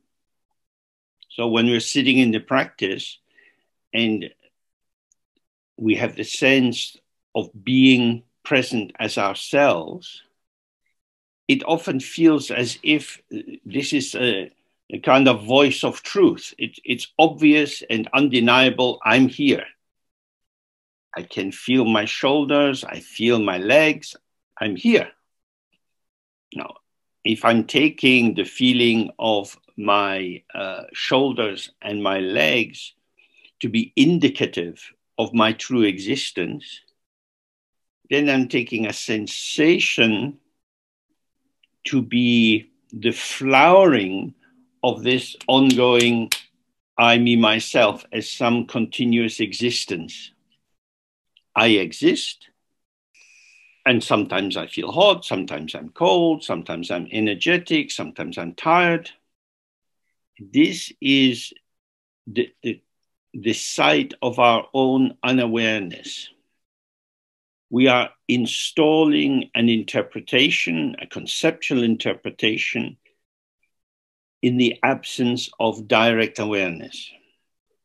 Because as we said, there's some sensation, I say it's in my shoulders. I have shoulders. I have a body. This is happening to me. Each of these statements is like a, a brick that you're placing one on top of another, another to make this great wall. But we don't see that we are a, a builder because we take it for granted that there is solid ground. I exist. And on the basis of this true existence, these events occur. The Dharma teachings say the opposite. They say experiences arise. When you leave them alone, they arise and pass. But when this uh, false construction of I have enduring existence is present, this uh, is pulling in more and more thoughts to confirm my own existence.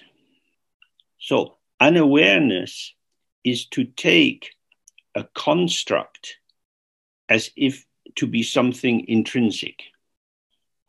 Outside my window, there is a tree, and in the tree, there is a, a pigeon sitting in its nest. And the pavement is covered with little twigs because the pigeon is not a very good nest builder. It's a bit big and fat, and every time it moves, bits of the nest fall out, so it has to go and get more bits to make it up again.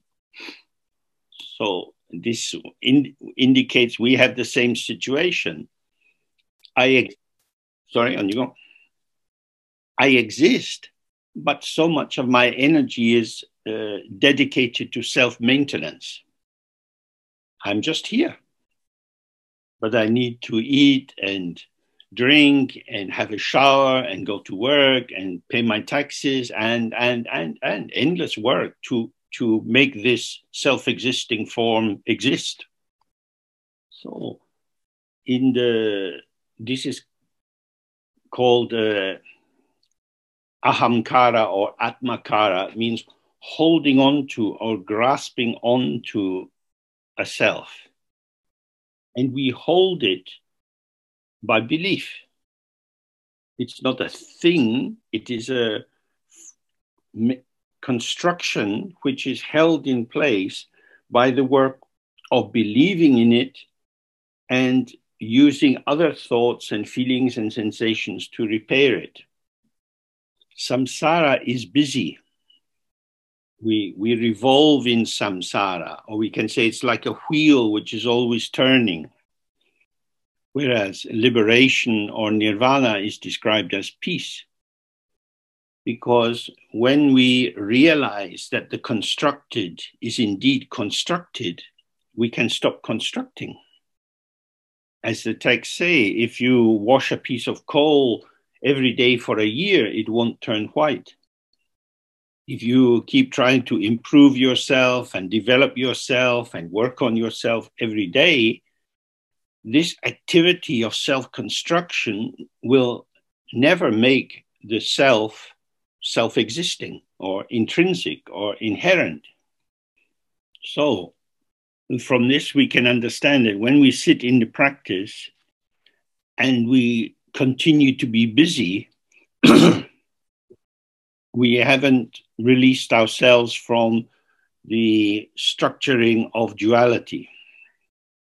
The key point then is not to struggle, not to try harder, not to try to make it happen you can relax into the out breath. But if you're still very uh, agitated, then you could go for a walk or have a shower or have a sleep and then do a little practice again. Awareness is intrinsic. So if we really hear what that means, it means it's there on the inside. It's already included. It's always already part of my presence. Awakening is not up to me doing something. Awakening appears when we do less. When you are clear that the, the basic ground that you arise from is infinite emptiness, and that appearance is arising in the manner of a dream, then you can be busy or not according to circumstances. But if we start from the point of, here I am, this is me, this is how I am, then we are already embedded in the field of duality. So this is what he is going to, uh, Rigdzin Godem is going to uh, unpack for us in the next uh, and final verse. So he says, sarva siddhi mahanguru sarva siddhi hon nijin drole drova chinchi lo shepa zume ranglo le pala kikyan le pe rangzu machi shin chinte yangwe sonra machimba trada rangwo tsirwe ribandi chinyi yambe matambu trene lelo kingi truchi matombarele pe kambo chunye madam butrene chinche drodon to chen chipara sho chupan chipara sho la chen chipara sho korwa donne trupen tuto sho So, in the first line, he says, um, I awake to freedom from the fetter of belief in duality. This is uh, the beginning. We can also read it in the more uh, tantric way. Please be- bless me by freeing me from the belief in duality. When we uh, read it in that more tantric way, we're starting from the position that I am trapped by the belief in duality. And I need your blessing to free me from that. But from the very beginning, the mind has been free. The fetter of the belief in duality is just a belief, it's a delusion. We are intoxicated as a result of unawareness like a person who is very drunk or who has taken a, a strong drug like heroin or LSD, we don't see very clearly. The belief in duality is the kind of self balancing attempt that arises in the mind with ignorance. So, in the teachings of Dzogchen, there are two main aspects. Uh, there is primordial purity and uh, instant presence or uh, self arising clarity. Primordial purity means that from the very beginning, there has never been even one atom of existence. That doesn't mean that nothing has occurred. It means the ground of everything is nothing. Everything is the showing of nothing. Everything shows without becoming something. Somethingness is the conceptualization of there is this and that. This is this because it's not that. They are mutually exclusive they have some internal definition or personal integrity which repels that which contradicts their own self completeness. A banana is not an apple. There is no place in the world of the banana for an apple. It is other, mutually exclusive. But kadag or primordial purity means there is not even one tiny basis that would give a personal, internal, or self defining identity to anything. So when we look for our mind, we find thoughts, feelings, sensations, memories. They arise and they pass, they are there, but in their vanishing, they show I'm in the mind. It's as if I'm the mind, but bye bye, I'm off.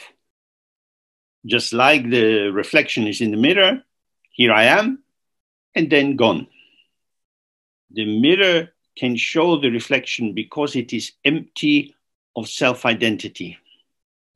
And This is the same with the mind.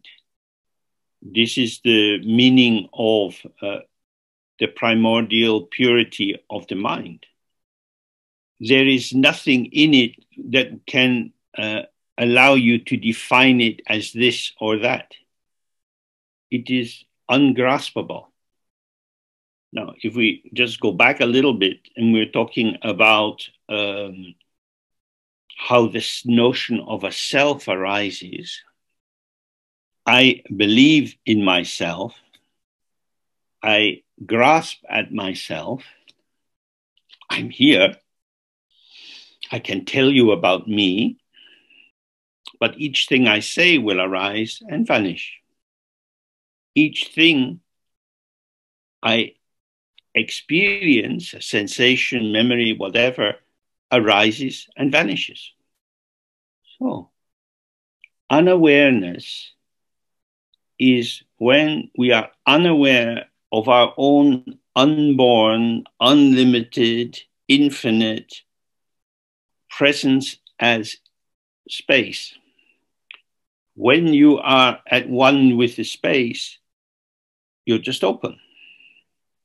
But if there is a little vibration which stands you, or a li- a, put it, uh, if there is a little vibration that seems to indicate space as an experience, there is the sense of presence as experiencer, and the experiencer is experiencing something so vast it goes unconscious.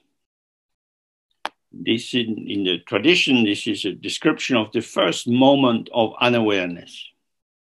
As soon as there's a sense of standing in relation to something, and that something is nothing, then it becomes like oblivion and there's a wipeout. And each time there is this uh, unconsciousness, when it uh, clears a little bit, there is uh, the, beginning nexus of a of presence as consciousness. Instead of there being a simple knowing, there is now the beginning of a knower doing the knowing. So maybe in the summer, if you go out in the mountains and you're climbing up the hill, it's quite tiring you get to a little quiet place and you sit down, oh, and you just see. You're just there. And then some thoughts come in and you start to comment on what you see. And with the manifesting of these different thoughts and feelings and sensations, the initial variation of the display of the hill and the trees and the valley, all as a kind of diversity within the whole, where it was all just this. Now it's being divided up into, oh, these are pine trees. Oh, my grandmother used to have this wildflower growing near her, and so on. Many thoughts arise. And the more you are able to define what you see, the more it gives a kind of fi- fixed form to your own identity. You are somebody who recognizes this tree but doesn't know what that one's called. The differentiation of the field of experience allows more differentiation within what is taken to be the experiencer. The world requires me to make sense of it. So when the Western people were going to Australia, they didn't see roads or houses. It seemed like it was just a land of potential. Nobody was doing anything really with it. There were many uh, indigenous people traveling around, gathering berries, doing hunting, but they were not establishing some external fixation. So the first thing when, when the British arrived there, they thought we have to establish a settlement. And the, the settlement means we have to have a pier, and then we have to put some buildings there to store what we take off the ships. and build houses, a, a good house for the boss and less houses for the ordinary workers. Then gradually, Australia came to look like a proper country. Now we know what we're doing. Now we can make some plans. So they brought in camels so they could go across the desert. And they introduced many, many uh, things to transform the potential into their idea of what was proper.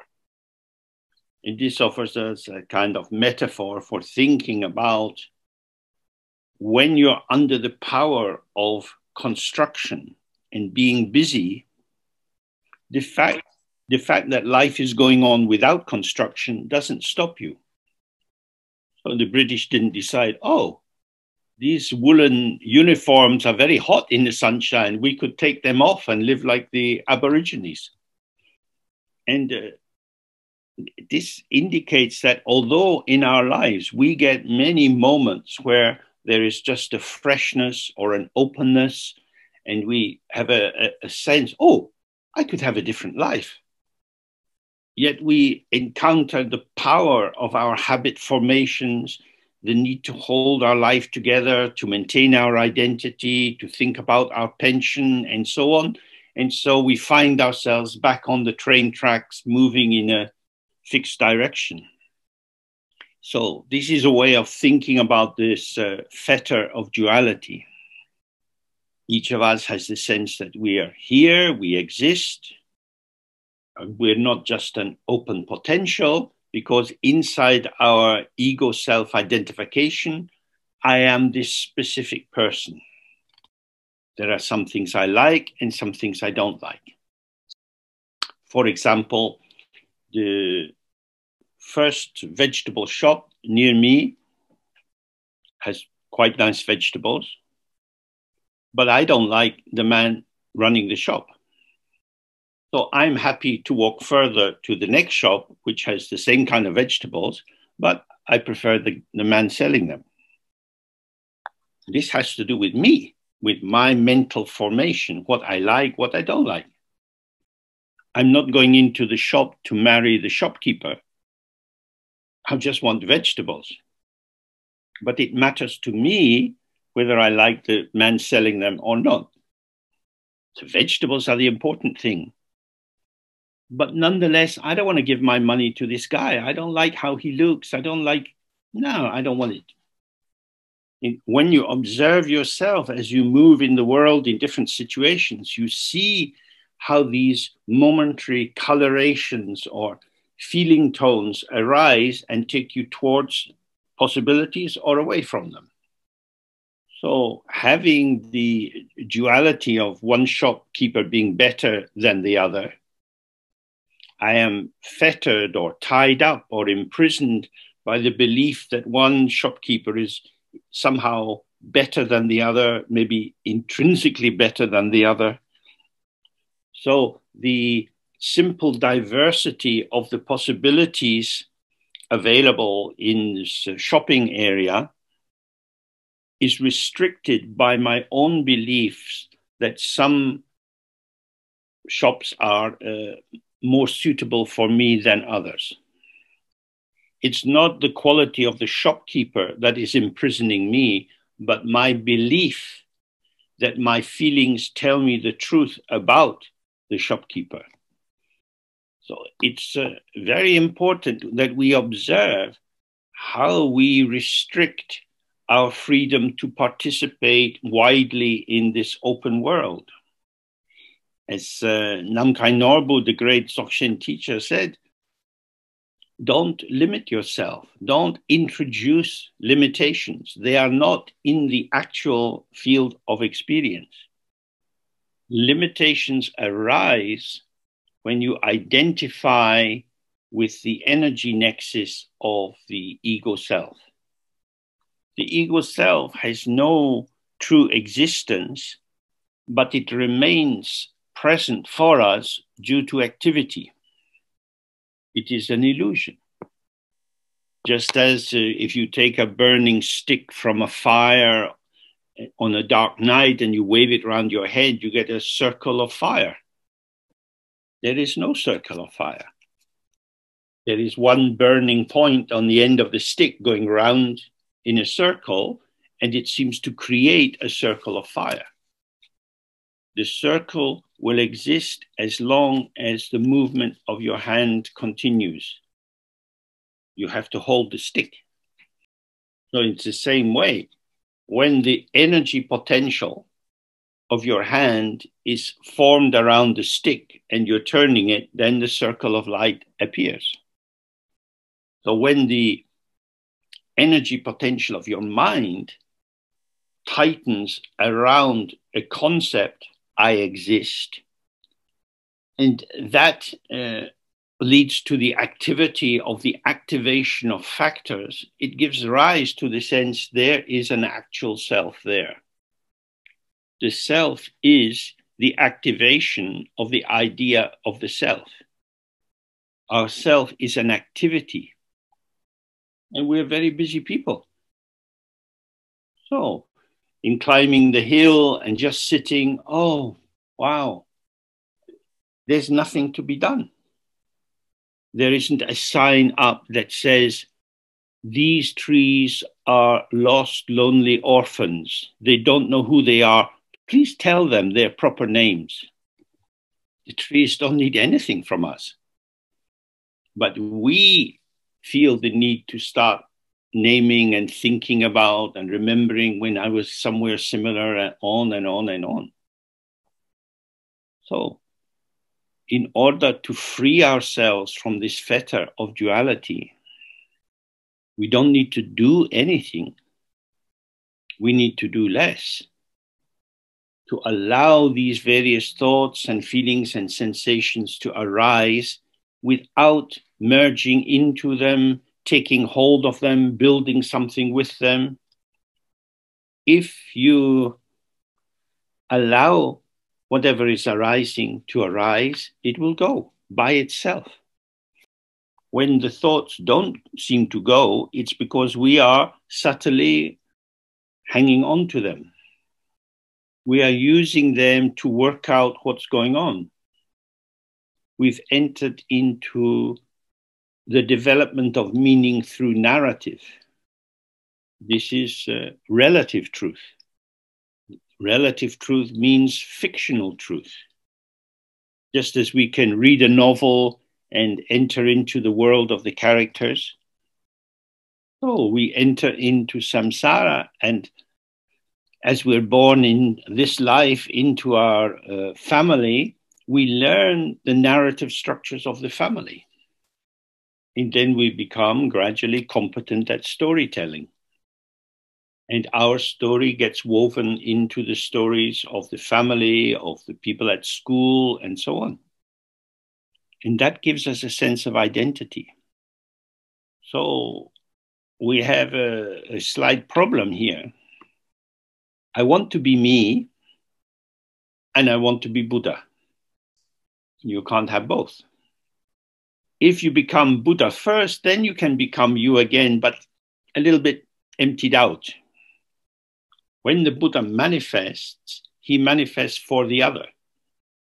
If we have the good fortune to meet some of these older lamas, we find that from early morning to night, they're working for the benefit of others.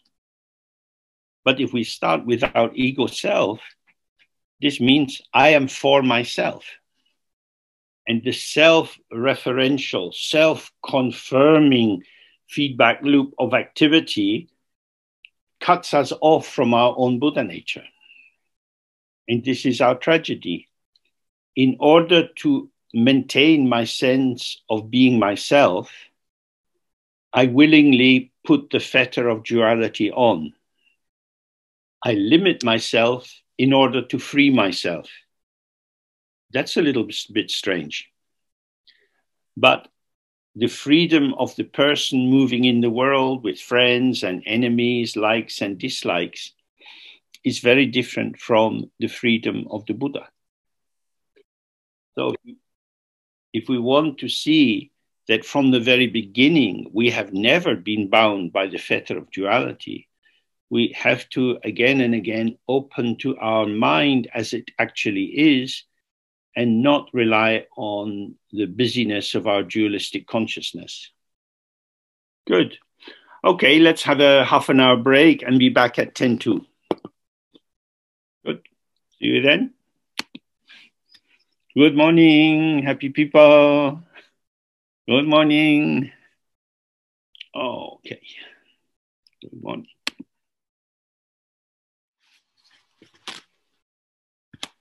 Okay, so let's begin doing the Guru Yoga again.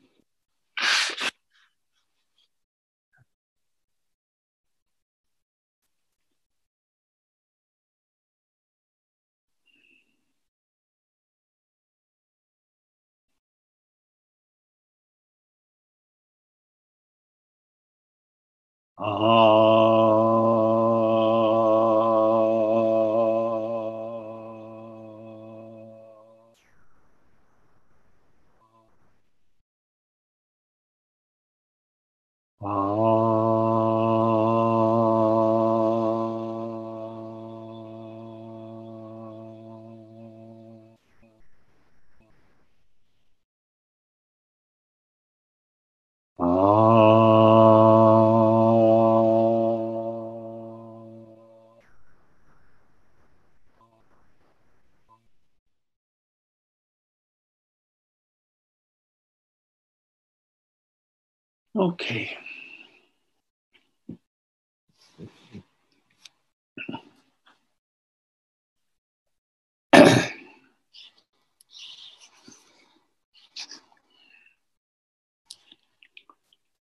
So then the text says, so not being dulled by the false friends encouraging complacency. That could be uh, it's not necessarily a person who's a friend. You might you might see an interesting film being advertised that will be uh, on your computer or on television. Oh, I'd like to watch that. It's neither good nor bad if you watch it. The issue is who would be watching the film if you relax and open, you can watch the film in a state of awareness.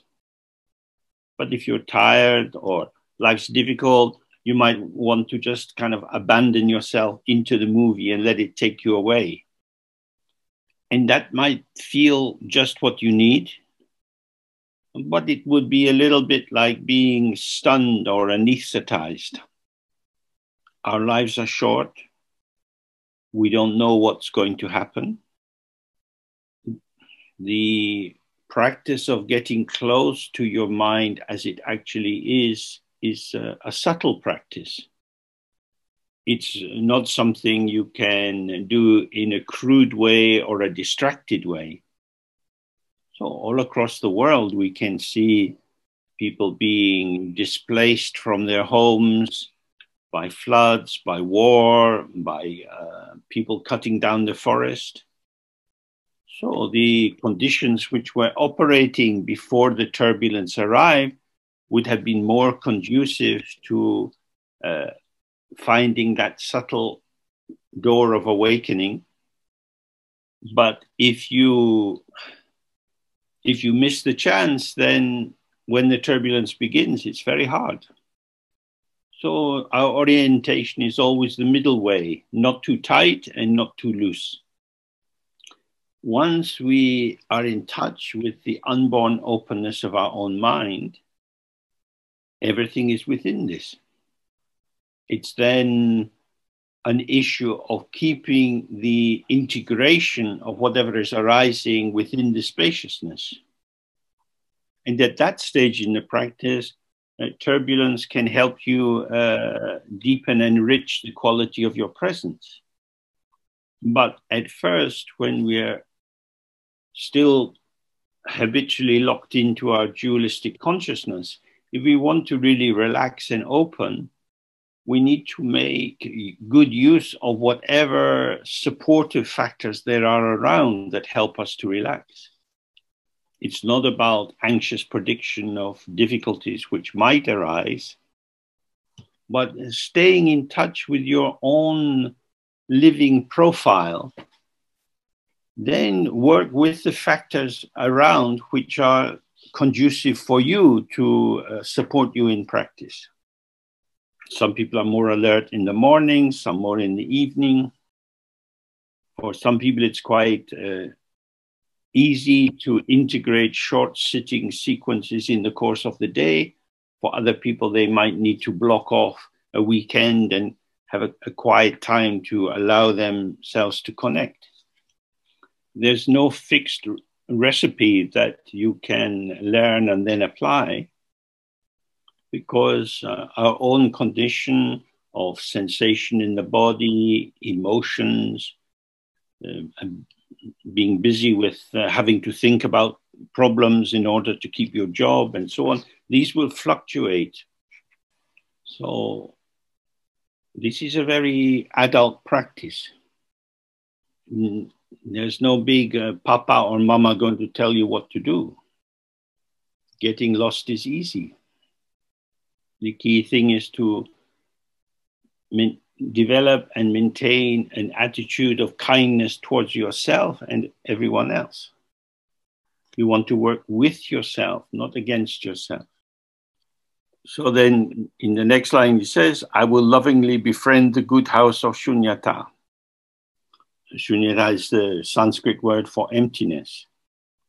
It indicates something which is empty or open that you can't you can't find the edge of it and so it has no shape. So you want to get to know shunyata.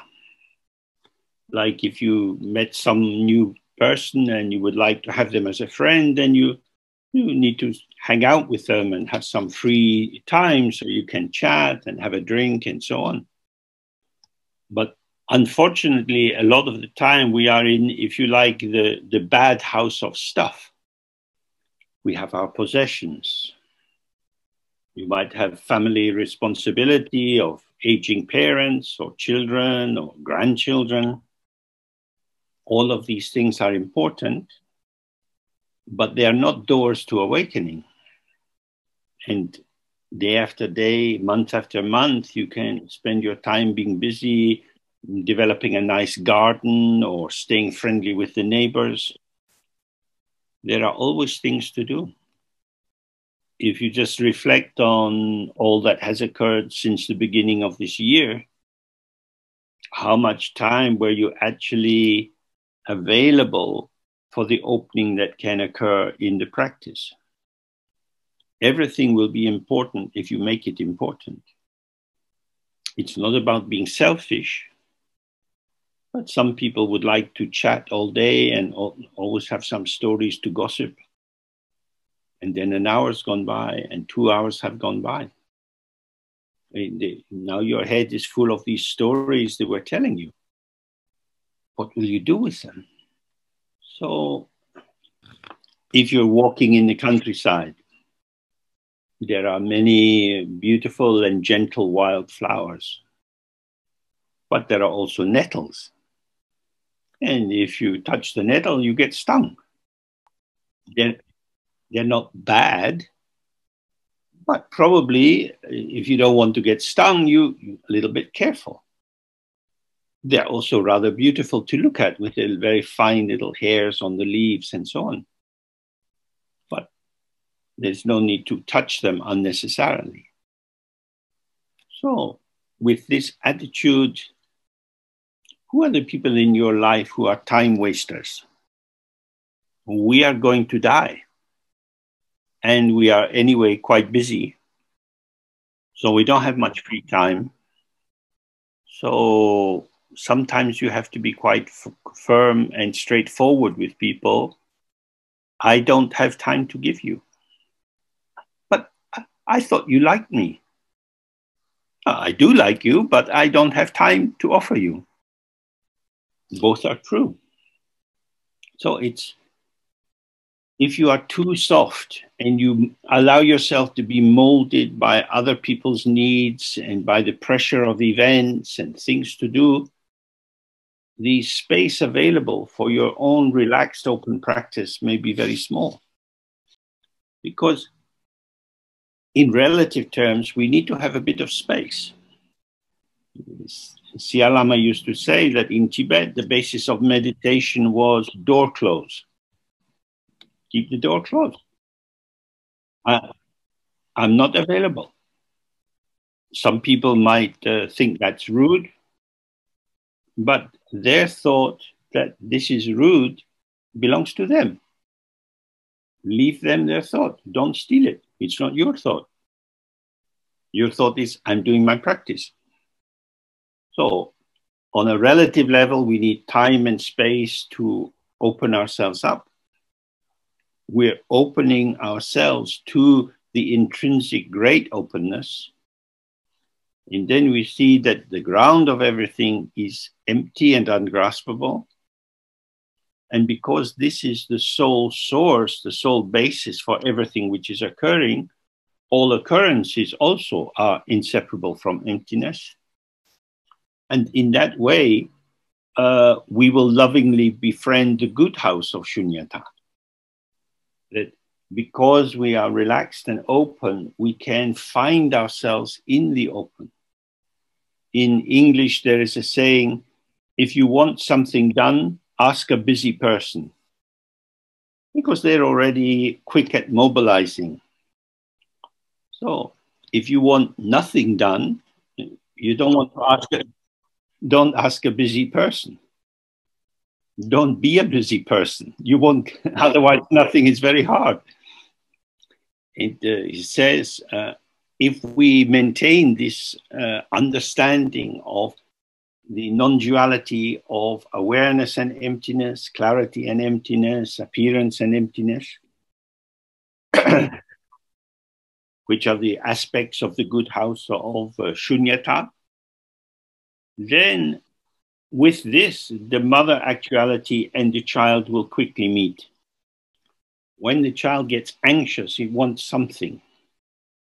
You want, maybe you need to pick a baby up and rock it and so on. But when the baby is moving towards sleep, you sing it a lullaby.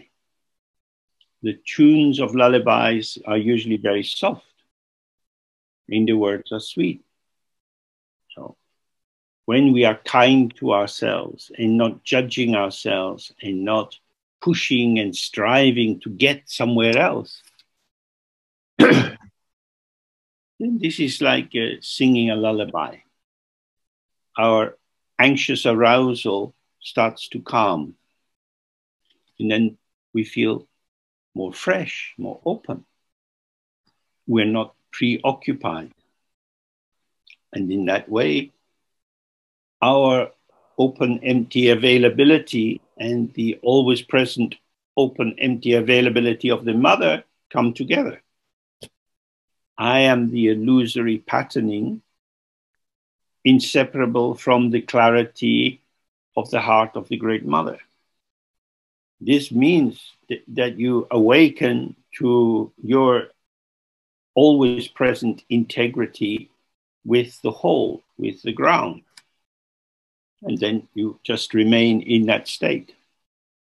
so, if we remember these uh, three statements of Garab Dorje, the first is that we uh, open to the open by opening, and we open by being in our openness.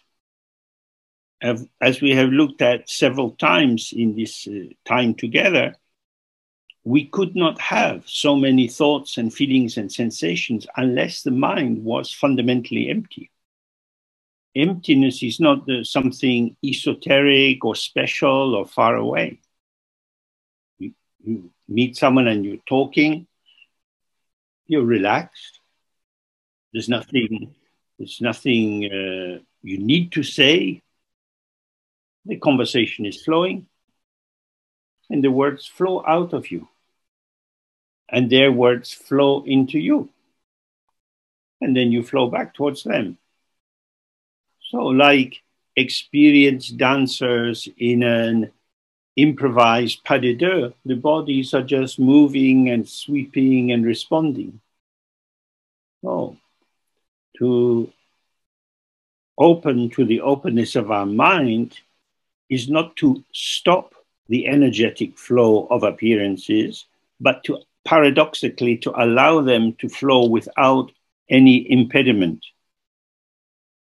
So Garab Dorje is saying you need to be introduced or shown the openness of your mind.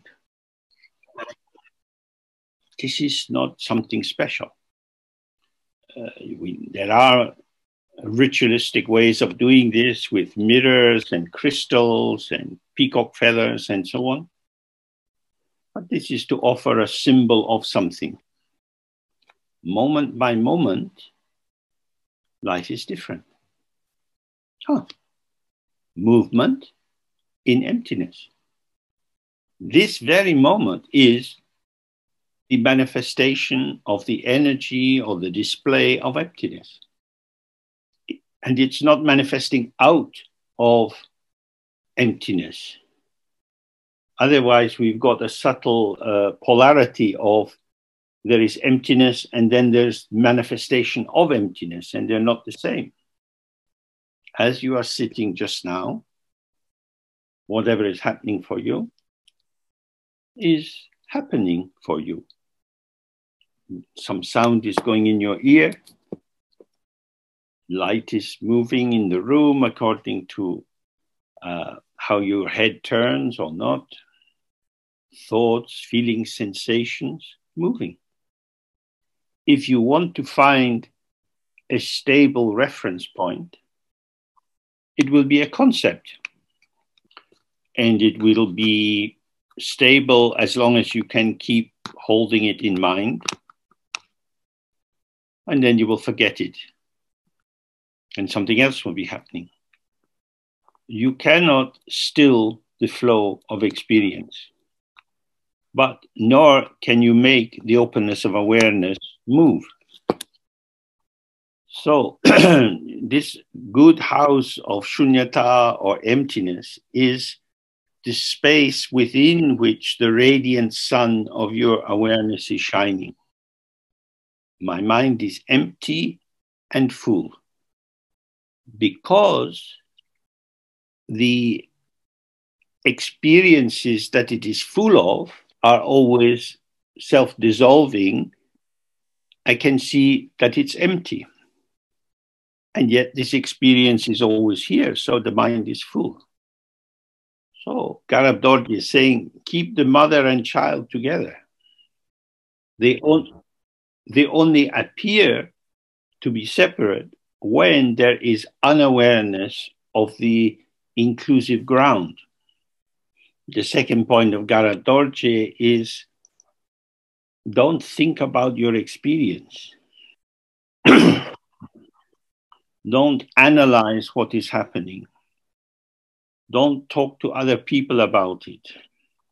Compare it and contrast it with experience of others if you read these uh, biographies and autobiographies of the great Tibetan yogis, you're likely to feel quite stupid.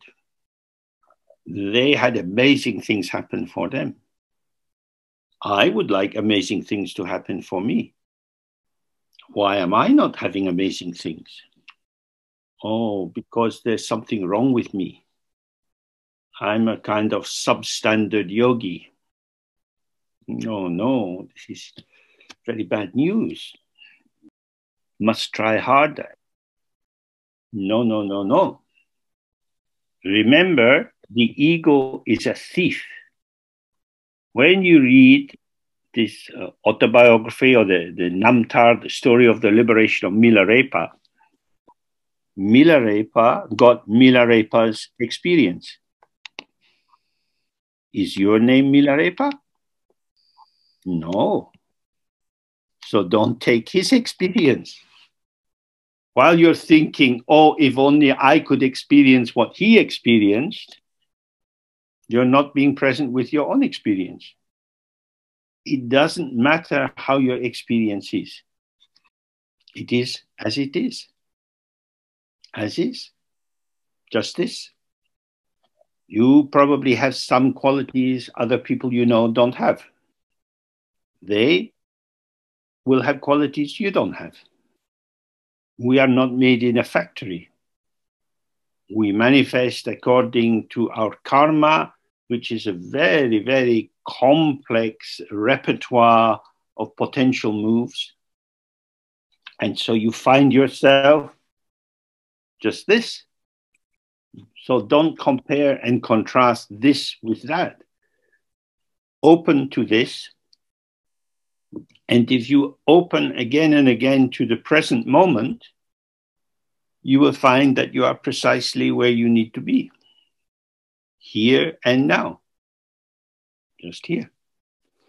So then the, the third point of Garab Dorje is to continue in this way, free of uh, artificial confidence, free of pride, free of doubt, just with the simplicity.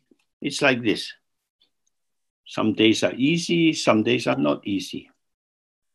These are flavors of experience.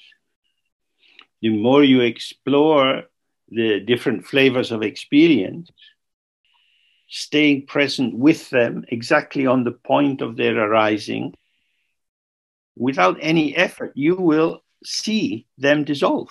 They vanish. So they are as they are without offering any basis for feeling, oh, this is going well or this is going badly. Oh, Garab Dorje says, just continue in this way. This is enough. Then a thought arises, oh, but I would like to have spiritual experiences. Or I would like my body not to have so much pain. The Buddhas don't seem to have pain in their bodies, but I've got pain in my body. What does this mean? This means you are lost in thought. So don't get lost in thought. Pain arises and passes. It's dynamic. Energy is moving up and down the nerve pathways. It's not something fixed. This is how it is.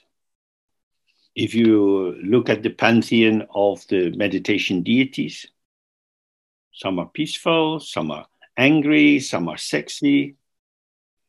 Each of us has our own character. Some people have very busy sexual lives, some people have very quiet sexual lives. Is one better than the other? If you would have liked to have a very busy sexual life, but you were afraid or embarrassed or believed that no one liked you, then that would be sad because you, you would have been trapped inside a neurotic or a, a, a constructed ident- uh, identity which limited your capacity to manifest your potential. So you, after some time, you might think, "Oh, I'm sad that I haven't fulfilled that aspect of my potential." So that's a very uh, beautiful dualistic expression. I am sad that I have not fulfilled this aspect of my potential.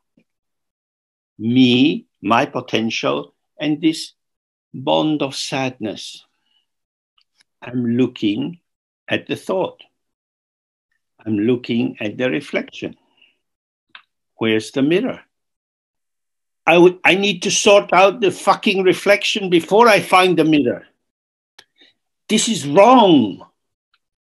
My life shouldn't be this way. Ah, that then that's very, very sad. So Garab Dorje is saying, ah, ah, whatever pattern life emerges with, stay with the mirror. The reflection is the child. The mirror is the mother. The child will be an orphan without the mother. So again and again, relax into the state of the mirror and allow life to be as it is, working with the particular shaping of how it is for you. Analyzing, judging, trying to improve, trying to uh, make it better. This will not help. You can't uh, buy the mind, you can't lose the mind It just is. It's here. So this is the essential point that for the mother and child to meet, for experience and the ground of experience to be inseparable, then just think of this imagery. Say this child is three years of age. The mother can pick up the child and embrace it. But the child can't really embrace the mother. Its arms aren't big enough. The child wants to be embraced and included. Means allow the emptiness of your mind, which already includes everything, to include to include whatever is arising now. This moment, this moment, this moment, this moment, whatever is occurring is within the embrace or the womb or the heart of the great mother. And as long as what is arising is non dual with emptiness, there is nothing better than this. Because then you are completely at home in the non duality of appearance and emptiness, clarity and emptiness, awareness and emptiness. There is nothing to be improved. But when a thought arises in your mind, this would make my life better, then you are changing the reflections in the mirror without awakening to the mirror. For the mirror, every reflection is okay. So, the basic uh, instruction in the meditation is to relax and open. And whatever is arising, stay precisely on that. So if we open and then we hear a dog barking, when the sound of the dog arises, the felt senses, the sound is there. And we're there with the sound. But if you conceptualize, no, but I'm sitting here and I hear the dog and it's outside and it must be oh, quite far away because of the volume, then you're just off in the turbulence of conceptualization. Stay with what is arising in the moment of its arising, at the site of its arising. When we say the source is empty, it's not a thing. It means you can't locate it. It's not in a place. If you're sitting outside and you hear and it's a plane in the sky, you can explain that the light is coming from the sun, reflected off the shape of the plane and coming into your eye, therefore you can see the plane. But if you keep your mind relaxed naked, fresh, uncontrived. Your mind is where the plane is. The plane is in the mind. Everything is in the mind. The ego self is in the mind. But when you imagine that your mind is in your ego self and that you're located here inside your body, then everything becomes relative because you're looking at if it's near or far, a friend to me or a danger to me. Here, now, why would I not be here and now? Where else will I be? Can I go to yesterday? Or this morning? Or an hour ago? Or even one second ago? It's gone. Can I go to tomorrow? It's not there. One minute from now, we don't know. The only place I ever am is here and now. Everything else is dualistic conceptual imagining. so, here and now, if there is nowhere else and no other time, then this is where everything is. I'm living in the party place in the party time. Everything's happening here. This is it. and it's fresh and direct. Everything else is an idea about an idea about an idea. And where are these ideas? Here and now. So I'm here and I want to see what's here. So I'm going to cover my eyes. Oh, I don't see so much. Oh, why would I cover my eyes to see more? Why would I think about things in order to find out how they are?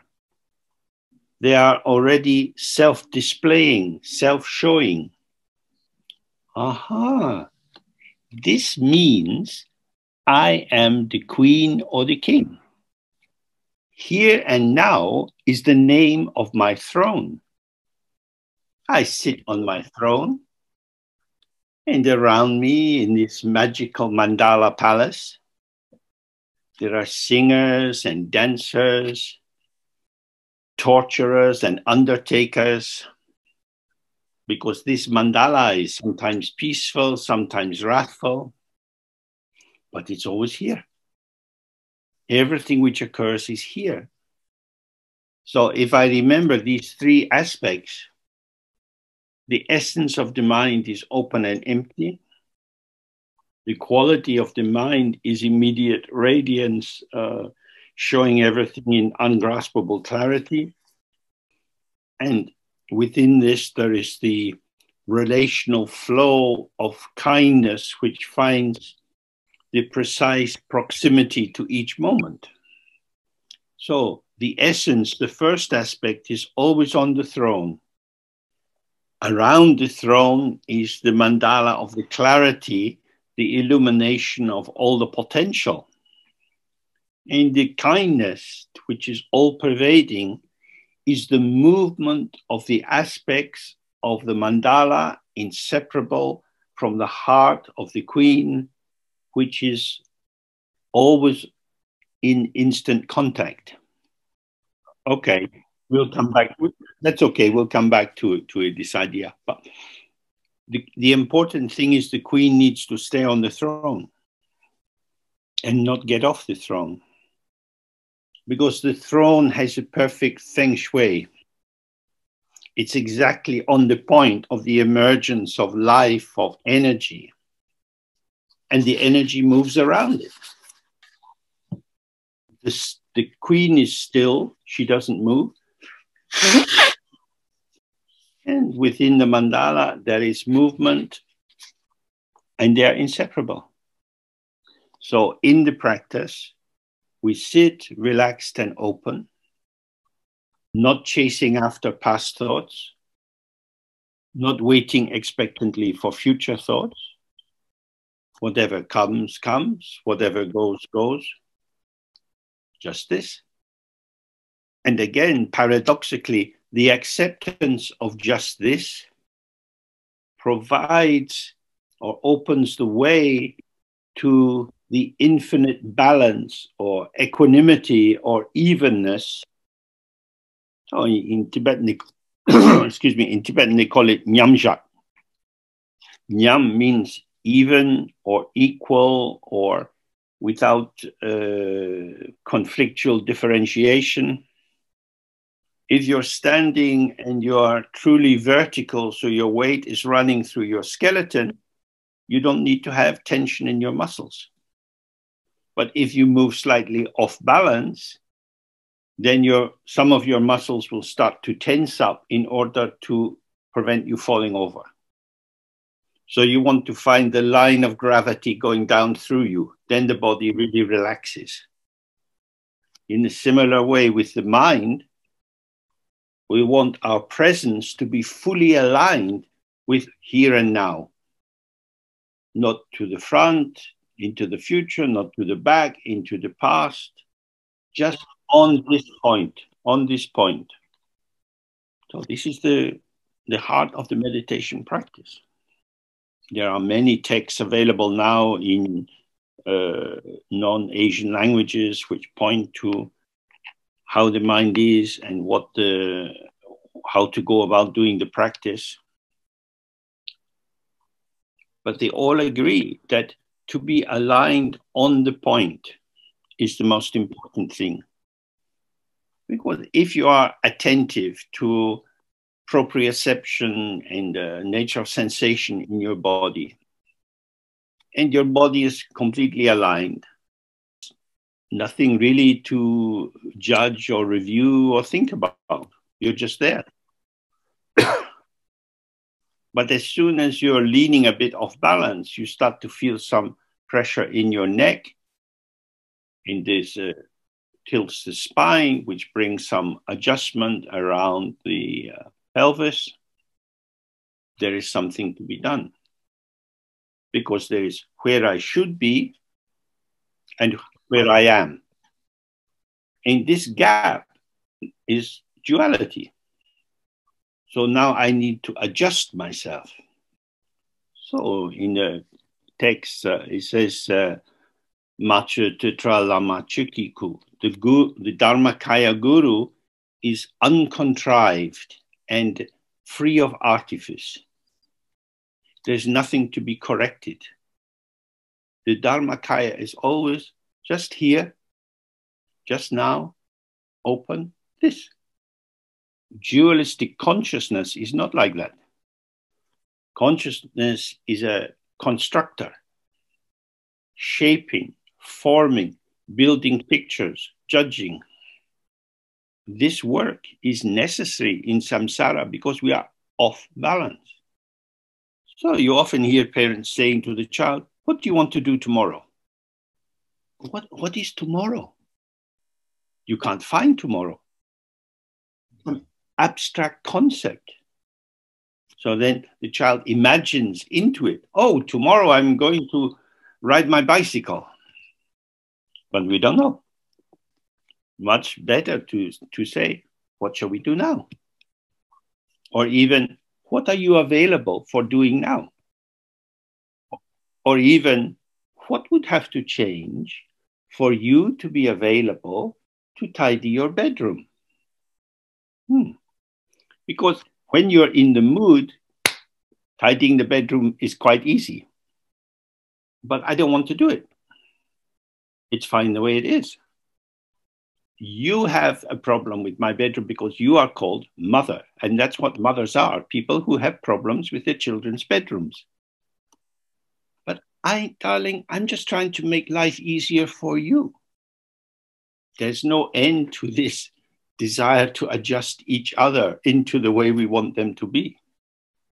So, when we have the time and the opportunity, relax and release, be present in this moment, and whatever happens, try to gently bring yourself back onto this cross of here and now, here and now.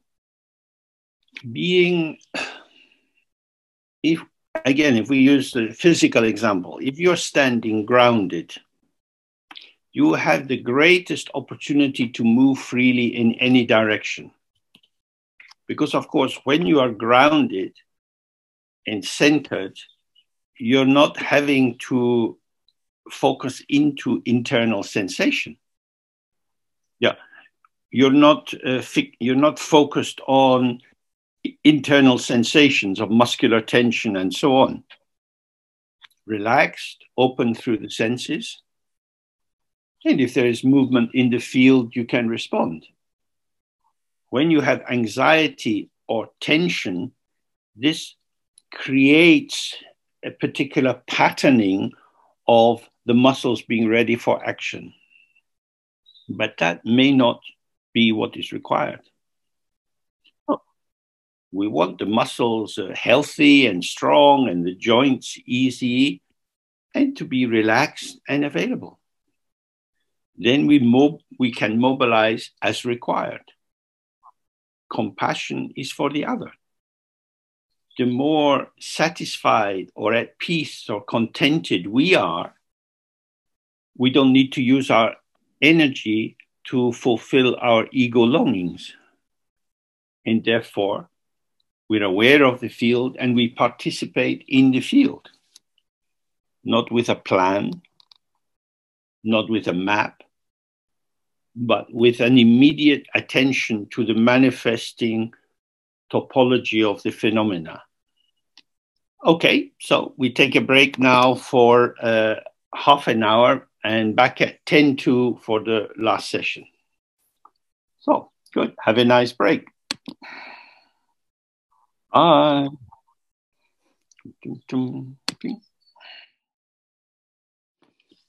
Okay. Good. So now we're coming to the very last uh, part of this uh, short text. And he says, from the time in which the mother and the child meet, I will act with all my power for the benefit of sentient beings. So, how can we benefit all beings?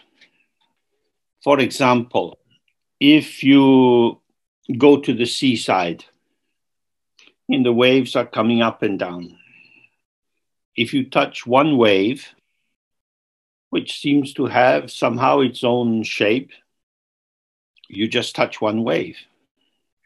And yet the water in that wave is not different from the water in all the other waves, and not different from all the water in the great ocean as long as we see sentient beings as being unique individuals with their own personal existence, then clearly we can help very few people. There are too many. But if you see that each person is the radiance of the unborn ground, and each of these manifestations has no true difference from or apartness from the other ones, then in touching one, you touch all. This is a little bit similar to the passage in the Bible when Jesus says, Inasmuch as you do an act of kindness to the least of these people, the least of my followers, you do it to me. Because uh, generally religions are concerned with inclusivity. Due to dogma and sectarianism, this is often obscured. But God is the Father of everyone, and in particular, the Father of Jesus. Jesus says, uh, No one comes to the Father except through me. So, I mean, you could teach Dzogchen through the Bible. It's not very different. Because the Son manifests from the Father. And if you want to find your mind, you have to stay with your thoughts. If you think that you can empty out your thoughts and awaken, you are mistaken. The mind without thoughts, feelings, and sensations is a pretty stupid mind. Thoughts, feelings, and sensations are not the problem the problem is not recognizing that they are the radiance of the mind. So if you think all children are the children of God, and God is immortal and invisible, then the true nature of his children is also immortal and invisible. Oh, all religions are saying you're not who you think you are. Means you have to look you have to open your heart and trust. But of course, terms like God tend to be uh, a bit abstract and far away. In the number of people who go to churches to pray is uh, much more than the people who contemplate uh, their mind in silence in the Christian tradition. So it's important to see that uh, the view can be quite uh, deep and important, but you need to have the method that allows the view to manifest. So when we look around and we see birds and cats and dogs and people and cows, whatever we kind of living forms we see, we have different ways of uh, attributing identity and status to them someone might look at a cow and think, oh, a lot of steak.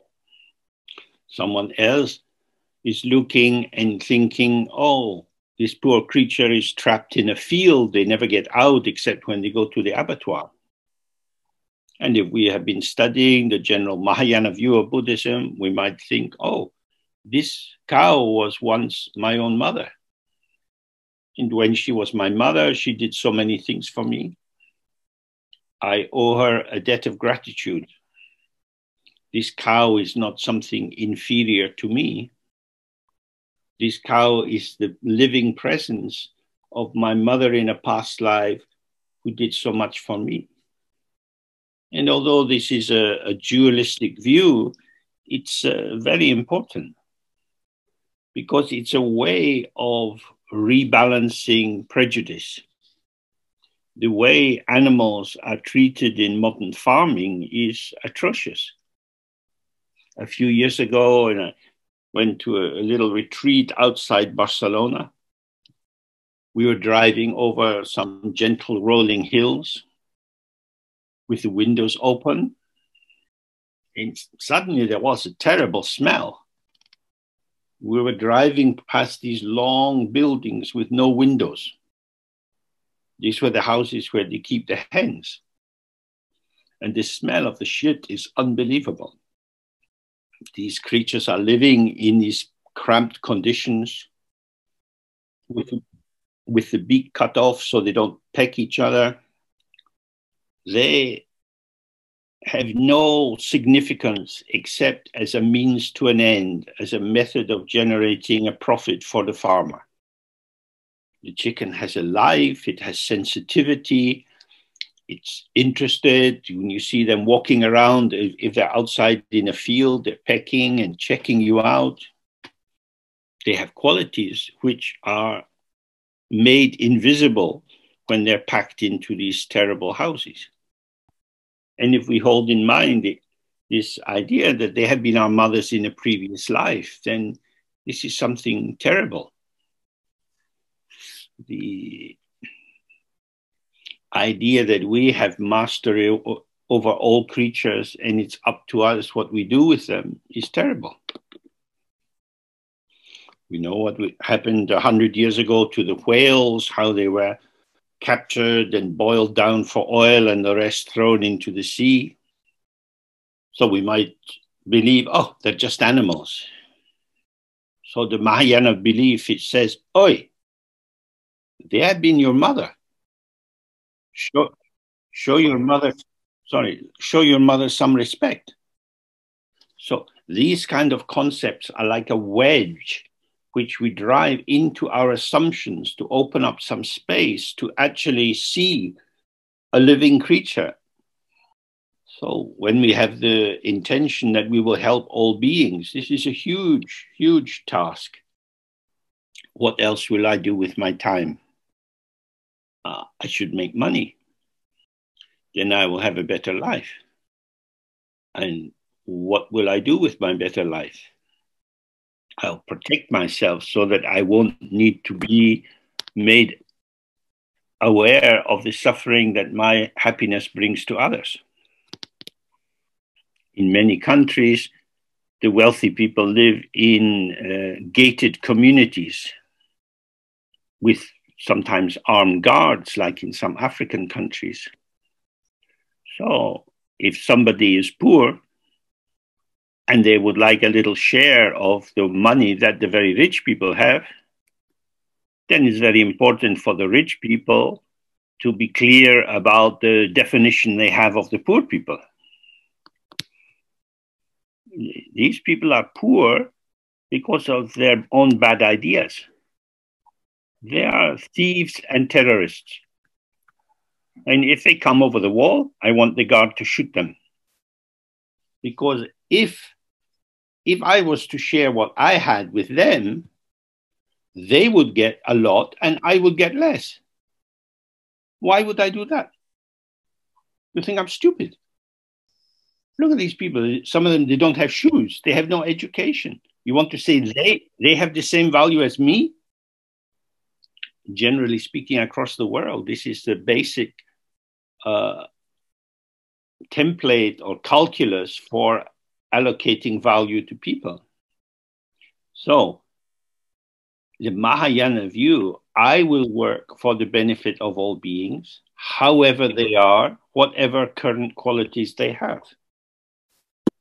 For these outer reasons, like they have been my mother in a past life, but more precisely because they they have no internal existence that makes them different from anyone else. They are empty formations.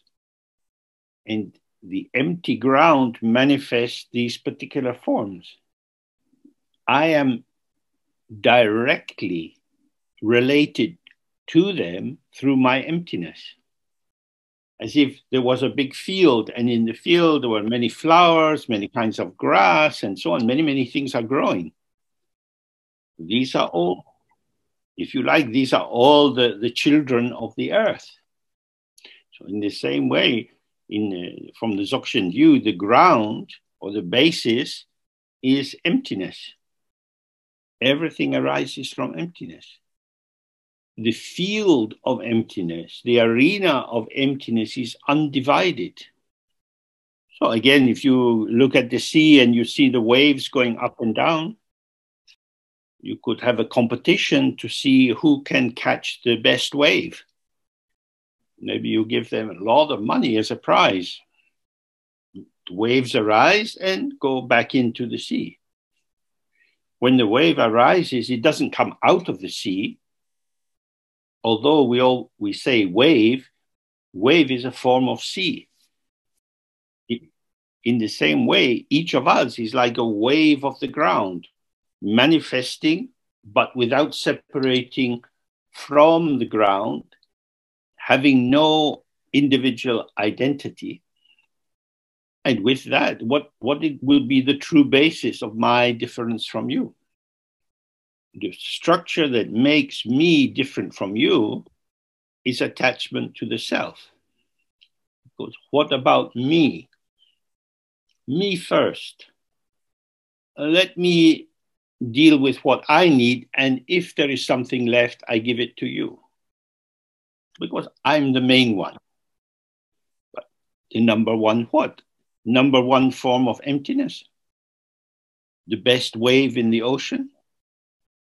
The best cloud in the sky. The best reflection in the mirror. The diversity of appearance is inseparable from the emptiness of the ground.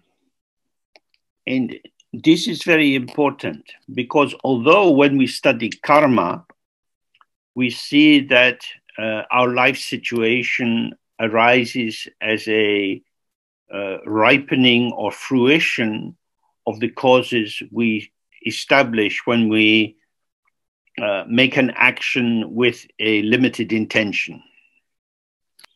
So, for this, the basis of karma is always duality because it's centered in an intentional form, the formation of an intention which leads to an action. For example, I meet you. I, seem to like you. I want you to like me. So that's the, the first step of the karma. I am real, you are real, I like you, and I want you to like me. So the second stage is uh, the movement of bringing that uh, intention to uh, fruition is I have to set up a setting in which I do something for you. So I take you to a nice restaurant and I buy you a nice meal. And I speak sweetly and we become more friendly. At the end of the evening, we say goodbye and I review how it's gone, I think, oh, that's good. I'm glad I have a new friend. So, intention, sorry, uh, duality to intention to enactment and to review. And that alignment of the energy creates a kind of current or a flow which remains embedded in my mental stream and can manifest later at some time. And the same structure would operate if I decided on the basis of duality that I want to rob you, and then I steal from you, and then I'm happy that I've stolen from you. Then I have to experience the consequence of this action, maybe a long time later when I have completely forgotten the causal conditions which gave rise to that tendency. So that there we have the teaching on cause and effect. and sometimes that uh, theory, if you like, is used to justify the bad treatment of other people. People are poor because of the ripening of their karma, and uh, I shouldn't interfere with this great cosmic system. When they have purified these causal factors, then their lives will be happy. But uh, that's a perverse view. Rather, we should apply the theory of karma to ourselves. I will help all beings because what else would I do? Everything that arises for me is here and now. This mandala of here and now is the Dharma Dhatu, the, the space within which all phenomena manifest. as soon as I think of someone, they are in my mind. So I could say, May all my friends be happy. That's enough. Oh, and so only my friends are inside this situation. Oh, may all Scottish people be happy. Maybe even all British people be happy. All European people be happy. All human beings be happy. All human beings plus dogs and cats and fish and more and more and more. Why not? Why not say hello to everyone? Fish have minds. Birds have minds. All the different creatures have a mind. That is to say, they have a sensitivity and experience. And they like some things and don't like other things. When I lived in Darjeeling in India, there had there were many many leeches, and they would go into my shoes. And when I took the shoe off, there all these creatures drinking my blood, friend or enemy. In 200 years ago in Europe, Uh, doctors would put leeches onto the body to take out the bad blood. And that would purify the sick person. Unfortunately, the leeches in Darjeeling, they just wanted the good blood. So I tried to get them come off, go away. They, they don't really like conversation. Then what to do? Some people say put some salt on them, but uh, that affects the porosity of their skin and they can die from that. Or that should uh, take a, some hot thing like some incense or a cigarette and hold it close, and then they'll they don't like the heat, so they fall off they want to live. Your body is a way of getting food and nutrition. I don't like it, but they like it. Should I give them some of my blood? How much? So, this is ethics floating in the sky is easy, but when you're in your body and you're having to decide, shall I let the mosquitoes feed off my arm or not? the mosquito wants blood, my blood. It is my enemy, or it is hungry.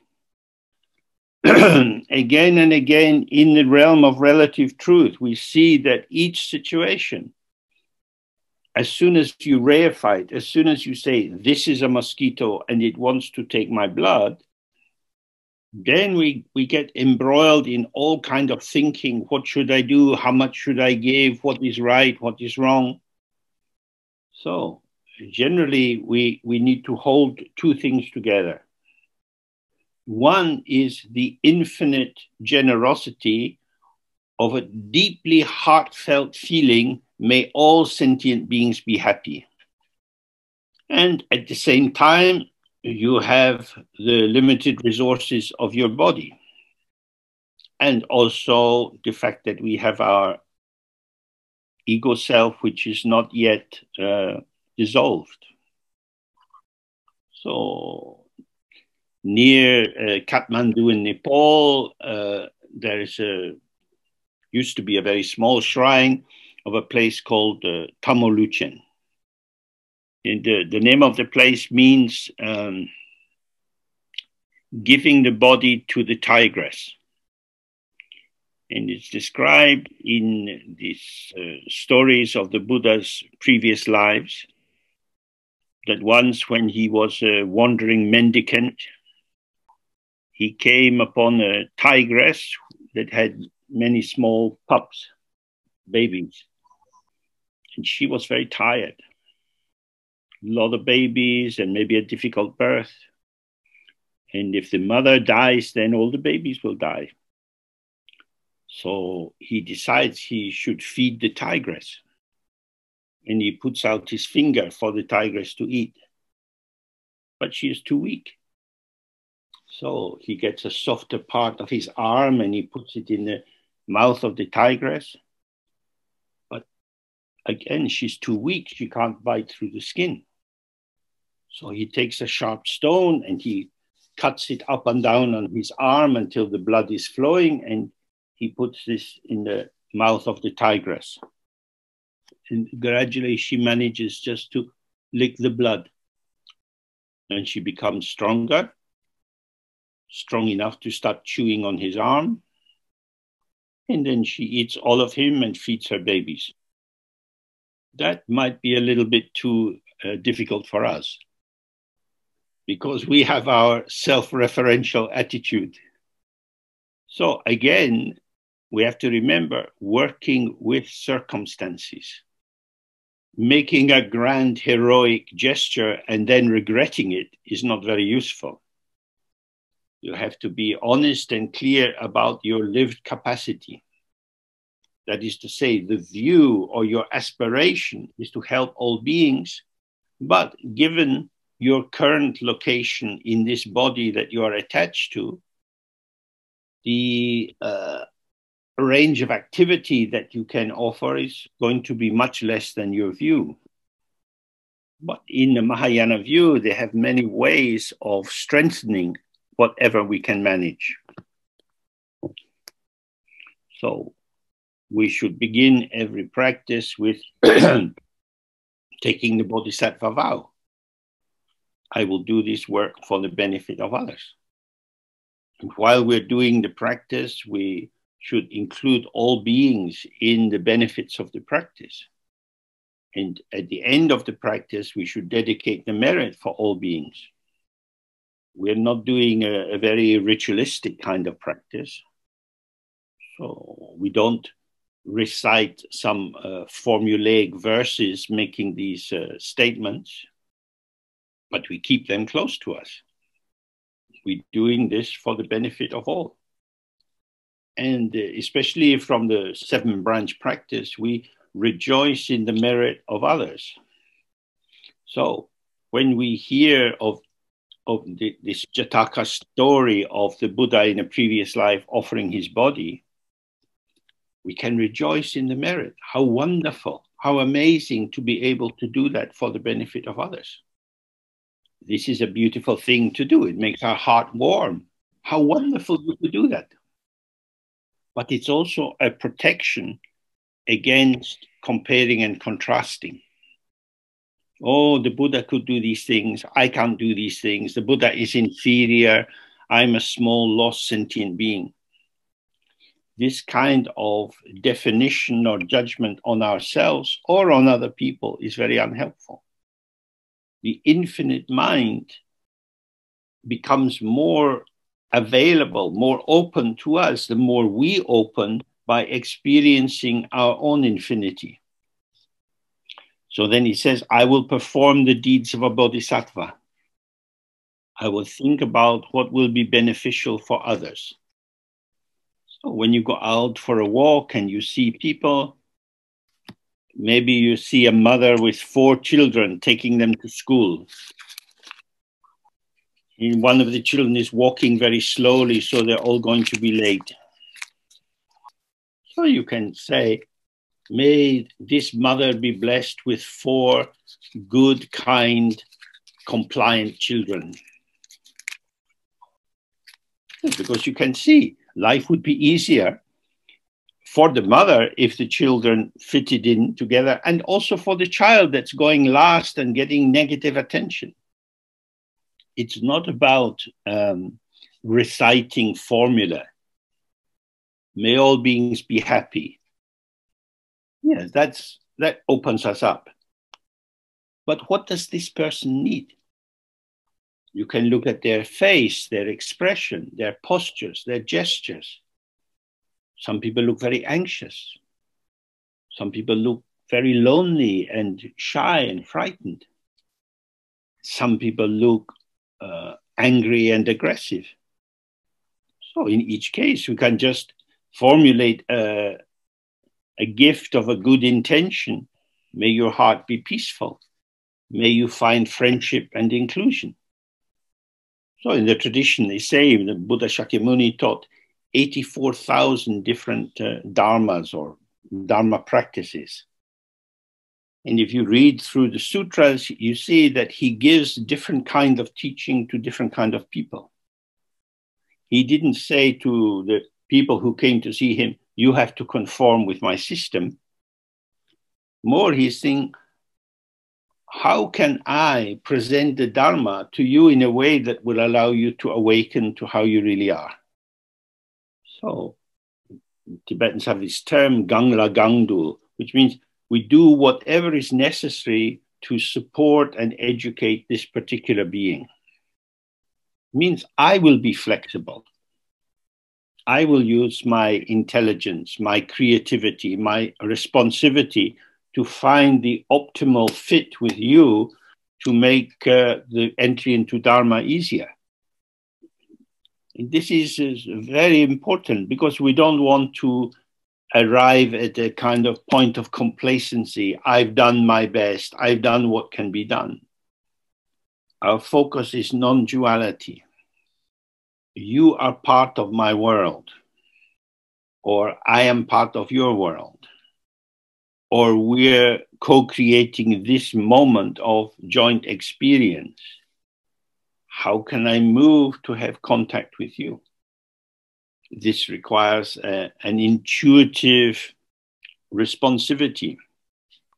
But in terms of the dynamic of power, first I receive you, and secondly, I respond this is not the position of the master or the expert. The master knows what to do. From this position, we relax and open and we allow the response to arise in the midst, on the midpoint of the co emergence of self and other. So there is no limit to the deeds of a bodhisattva we will do whatever is necessary. So there are many classifications of this. For example, in the tantric tradition, they talk of the four activities. The first is pacifying. May all disease be cured. May all suffering end. May all hostility be pacified. So we're saying May there be a mood of calmness in the world so that all agitation goes down. Secondly, there is increasing. May all sentient beings be healthy and happy. May the crops grow well so that all can be fed. May there be free and easy access to education. May the girls in Afghanistan be able to go to school May they be, tr- be freed from the prison of patriarchy so that their lives can expand and blossom. Then the third position is uh, overawing or magnetizing. This is uh, more directly relational, in which you bring up your life energy, your whatever you say, your chi, your ki, your charisma, so that you have uh, an impactful presence. And this vital manifestation makes other people stop in their tracks. This interrupts how they might behave. So, in a famous uh, Buddhist story, there was a, a murderer called Angulimala and he wore a necklace of hands around his neck. He would kill people and chop their hands off, so he had garlands of hands. And he needed just he needed just one more. So he's looking for someone to kill. And the Buddha's walking towards him. Now, usually when people see Angulimala is covered in this blood and his rotting hands are stinking, so they, oh God. And the Buddha just looking at him, just smiling. Hello.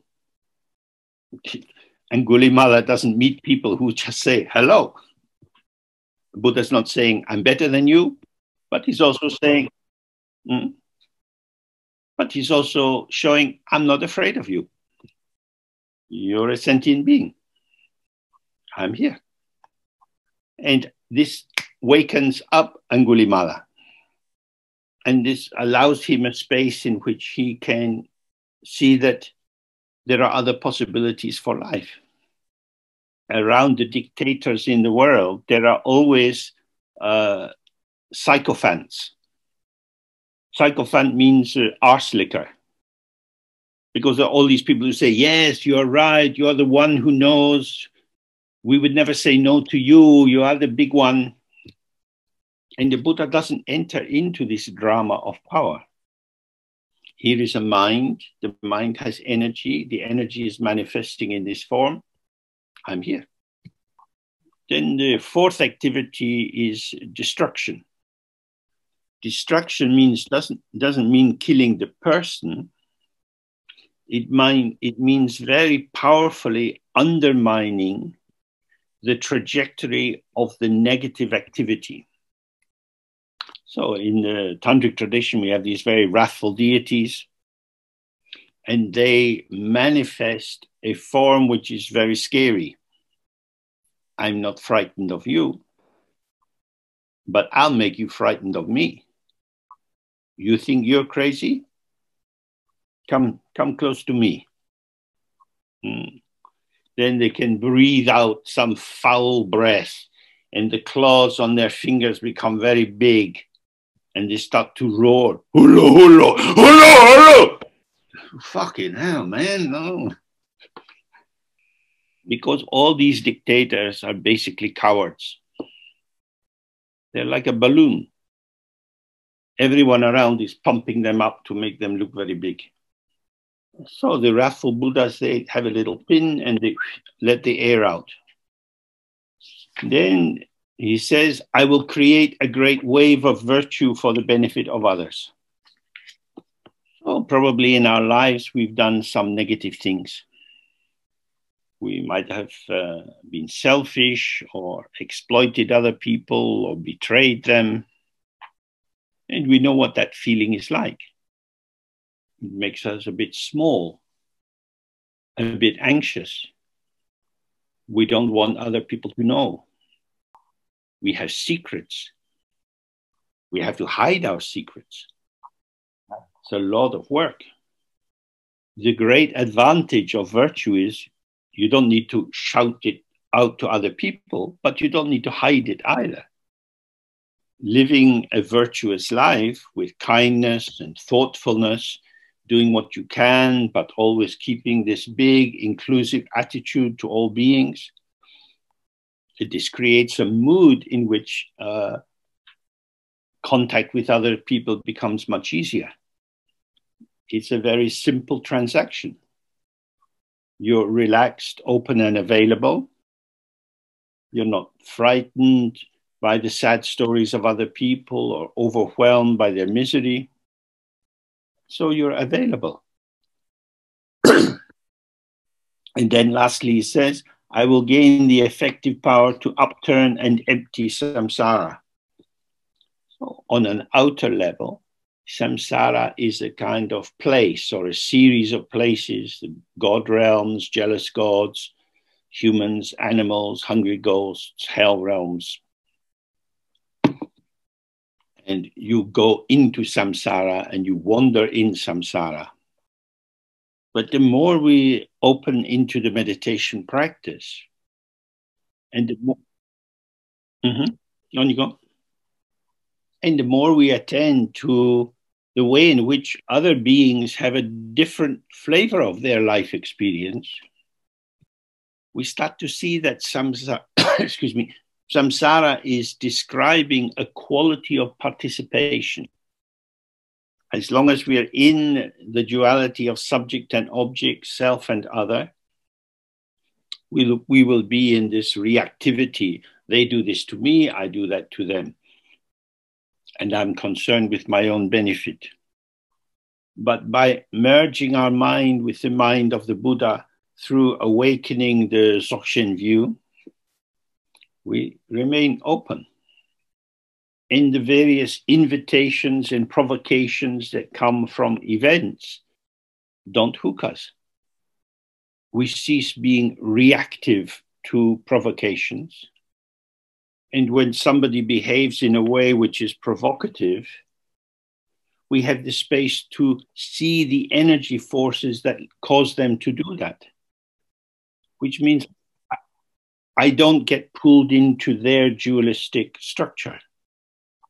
And when we sit in our, in our meditation practice, many uh, experiences are arising and passing. We let them come and go. Every time we uh, merge into a thought or a feeling or a sensation, we are given a little ticket for five minutes more in samsara. So at the end of your meditation, oh, I've just earned another 10 hours in samsara. And the great thing is, even when I'm not meditating, I'm getting these tickets. So the way not to do that is to stay on your throne, relaxed and open, responding as required. And then you see samsara is empty. There is not one manifestation one phenomena, one form of sentient being which has its own inherent existence. And then you see there are no sentient beings to be liberated. The actual situation of all sentient beings is that they are inseparable from the pure ground of the heart of all the Buddhas. But they don't recognize that. And so we feel this sadness for them sadness in the manner of a dream. They are dreaming that they are in prison. And because their dream is deep and strong, that is their lived experience. But we are not in that situation. Uh, I remember Chatral Rinpoche telling me that uh, we, between the teacher and the student, it's like two brothers in bed together.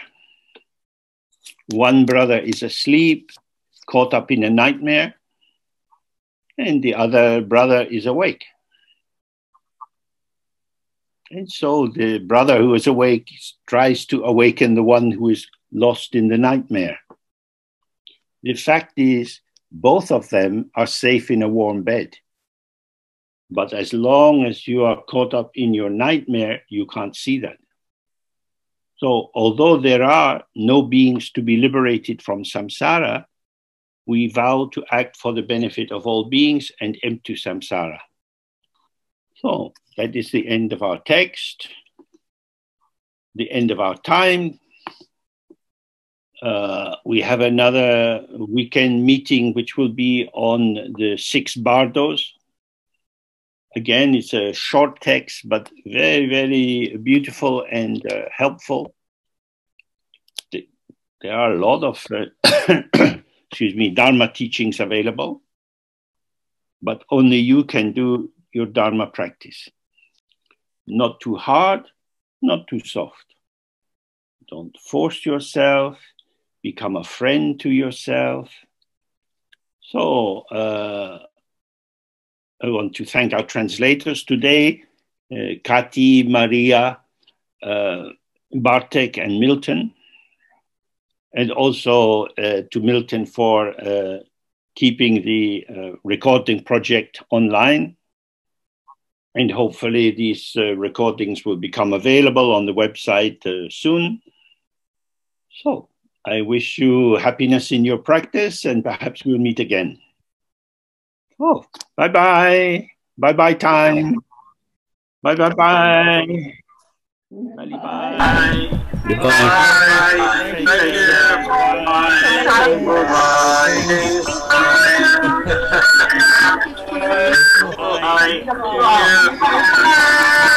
Bye.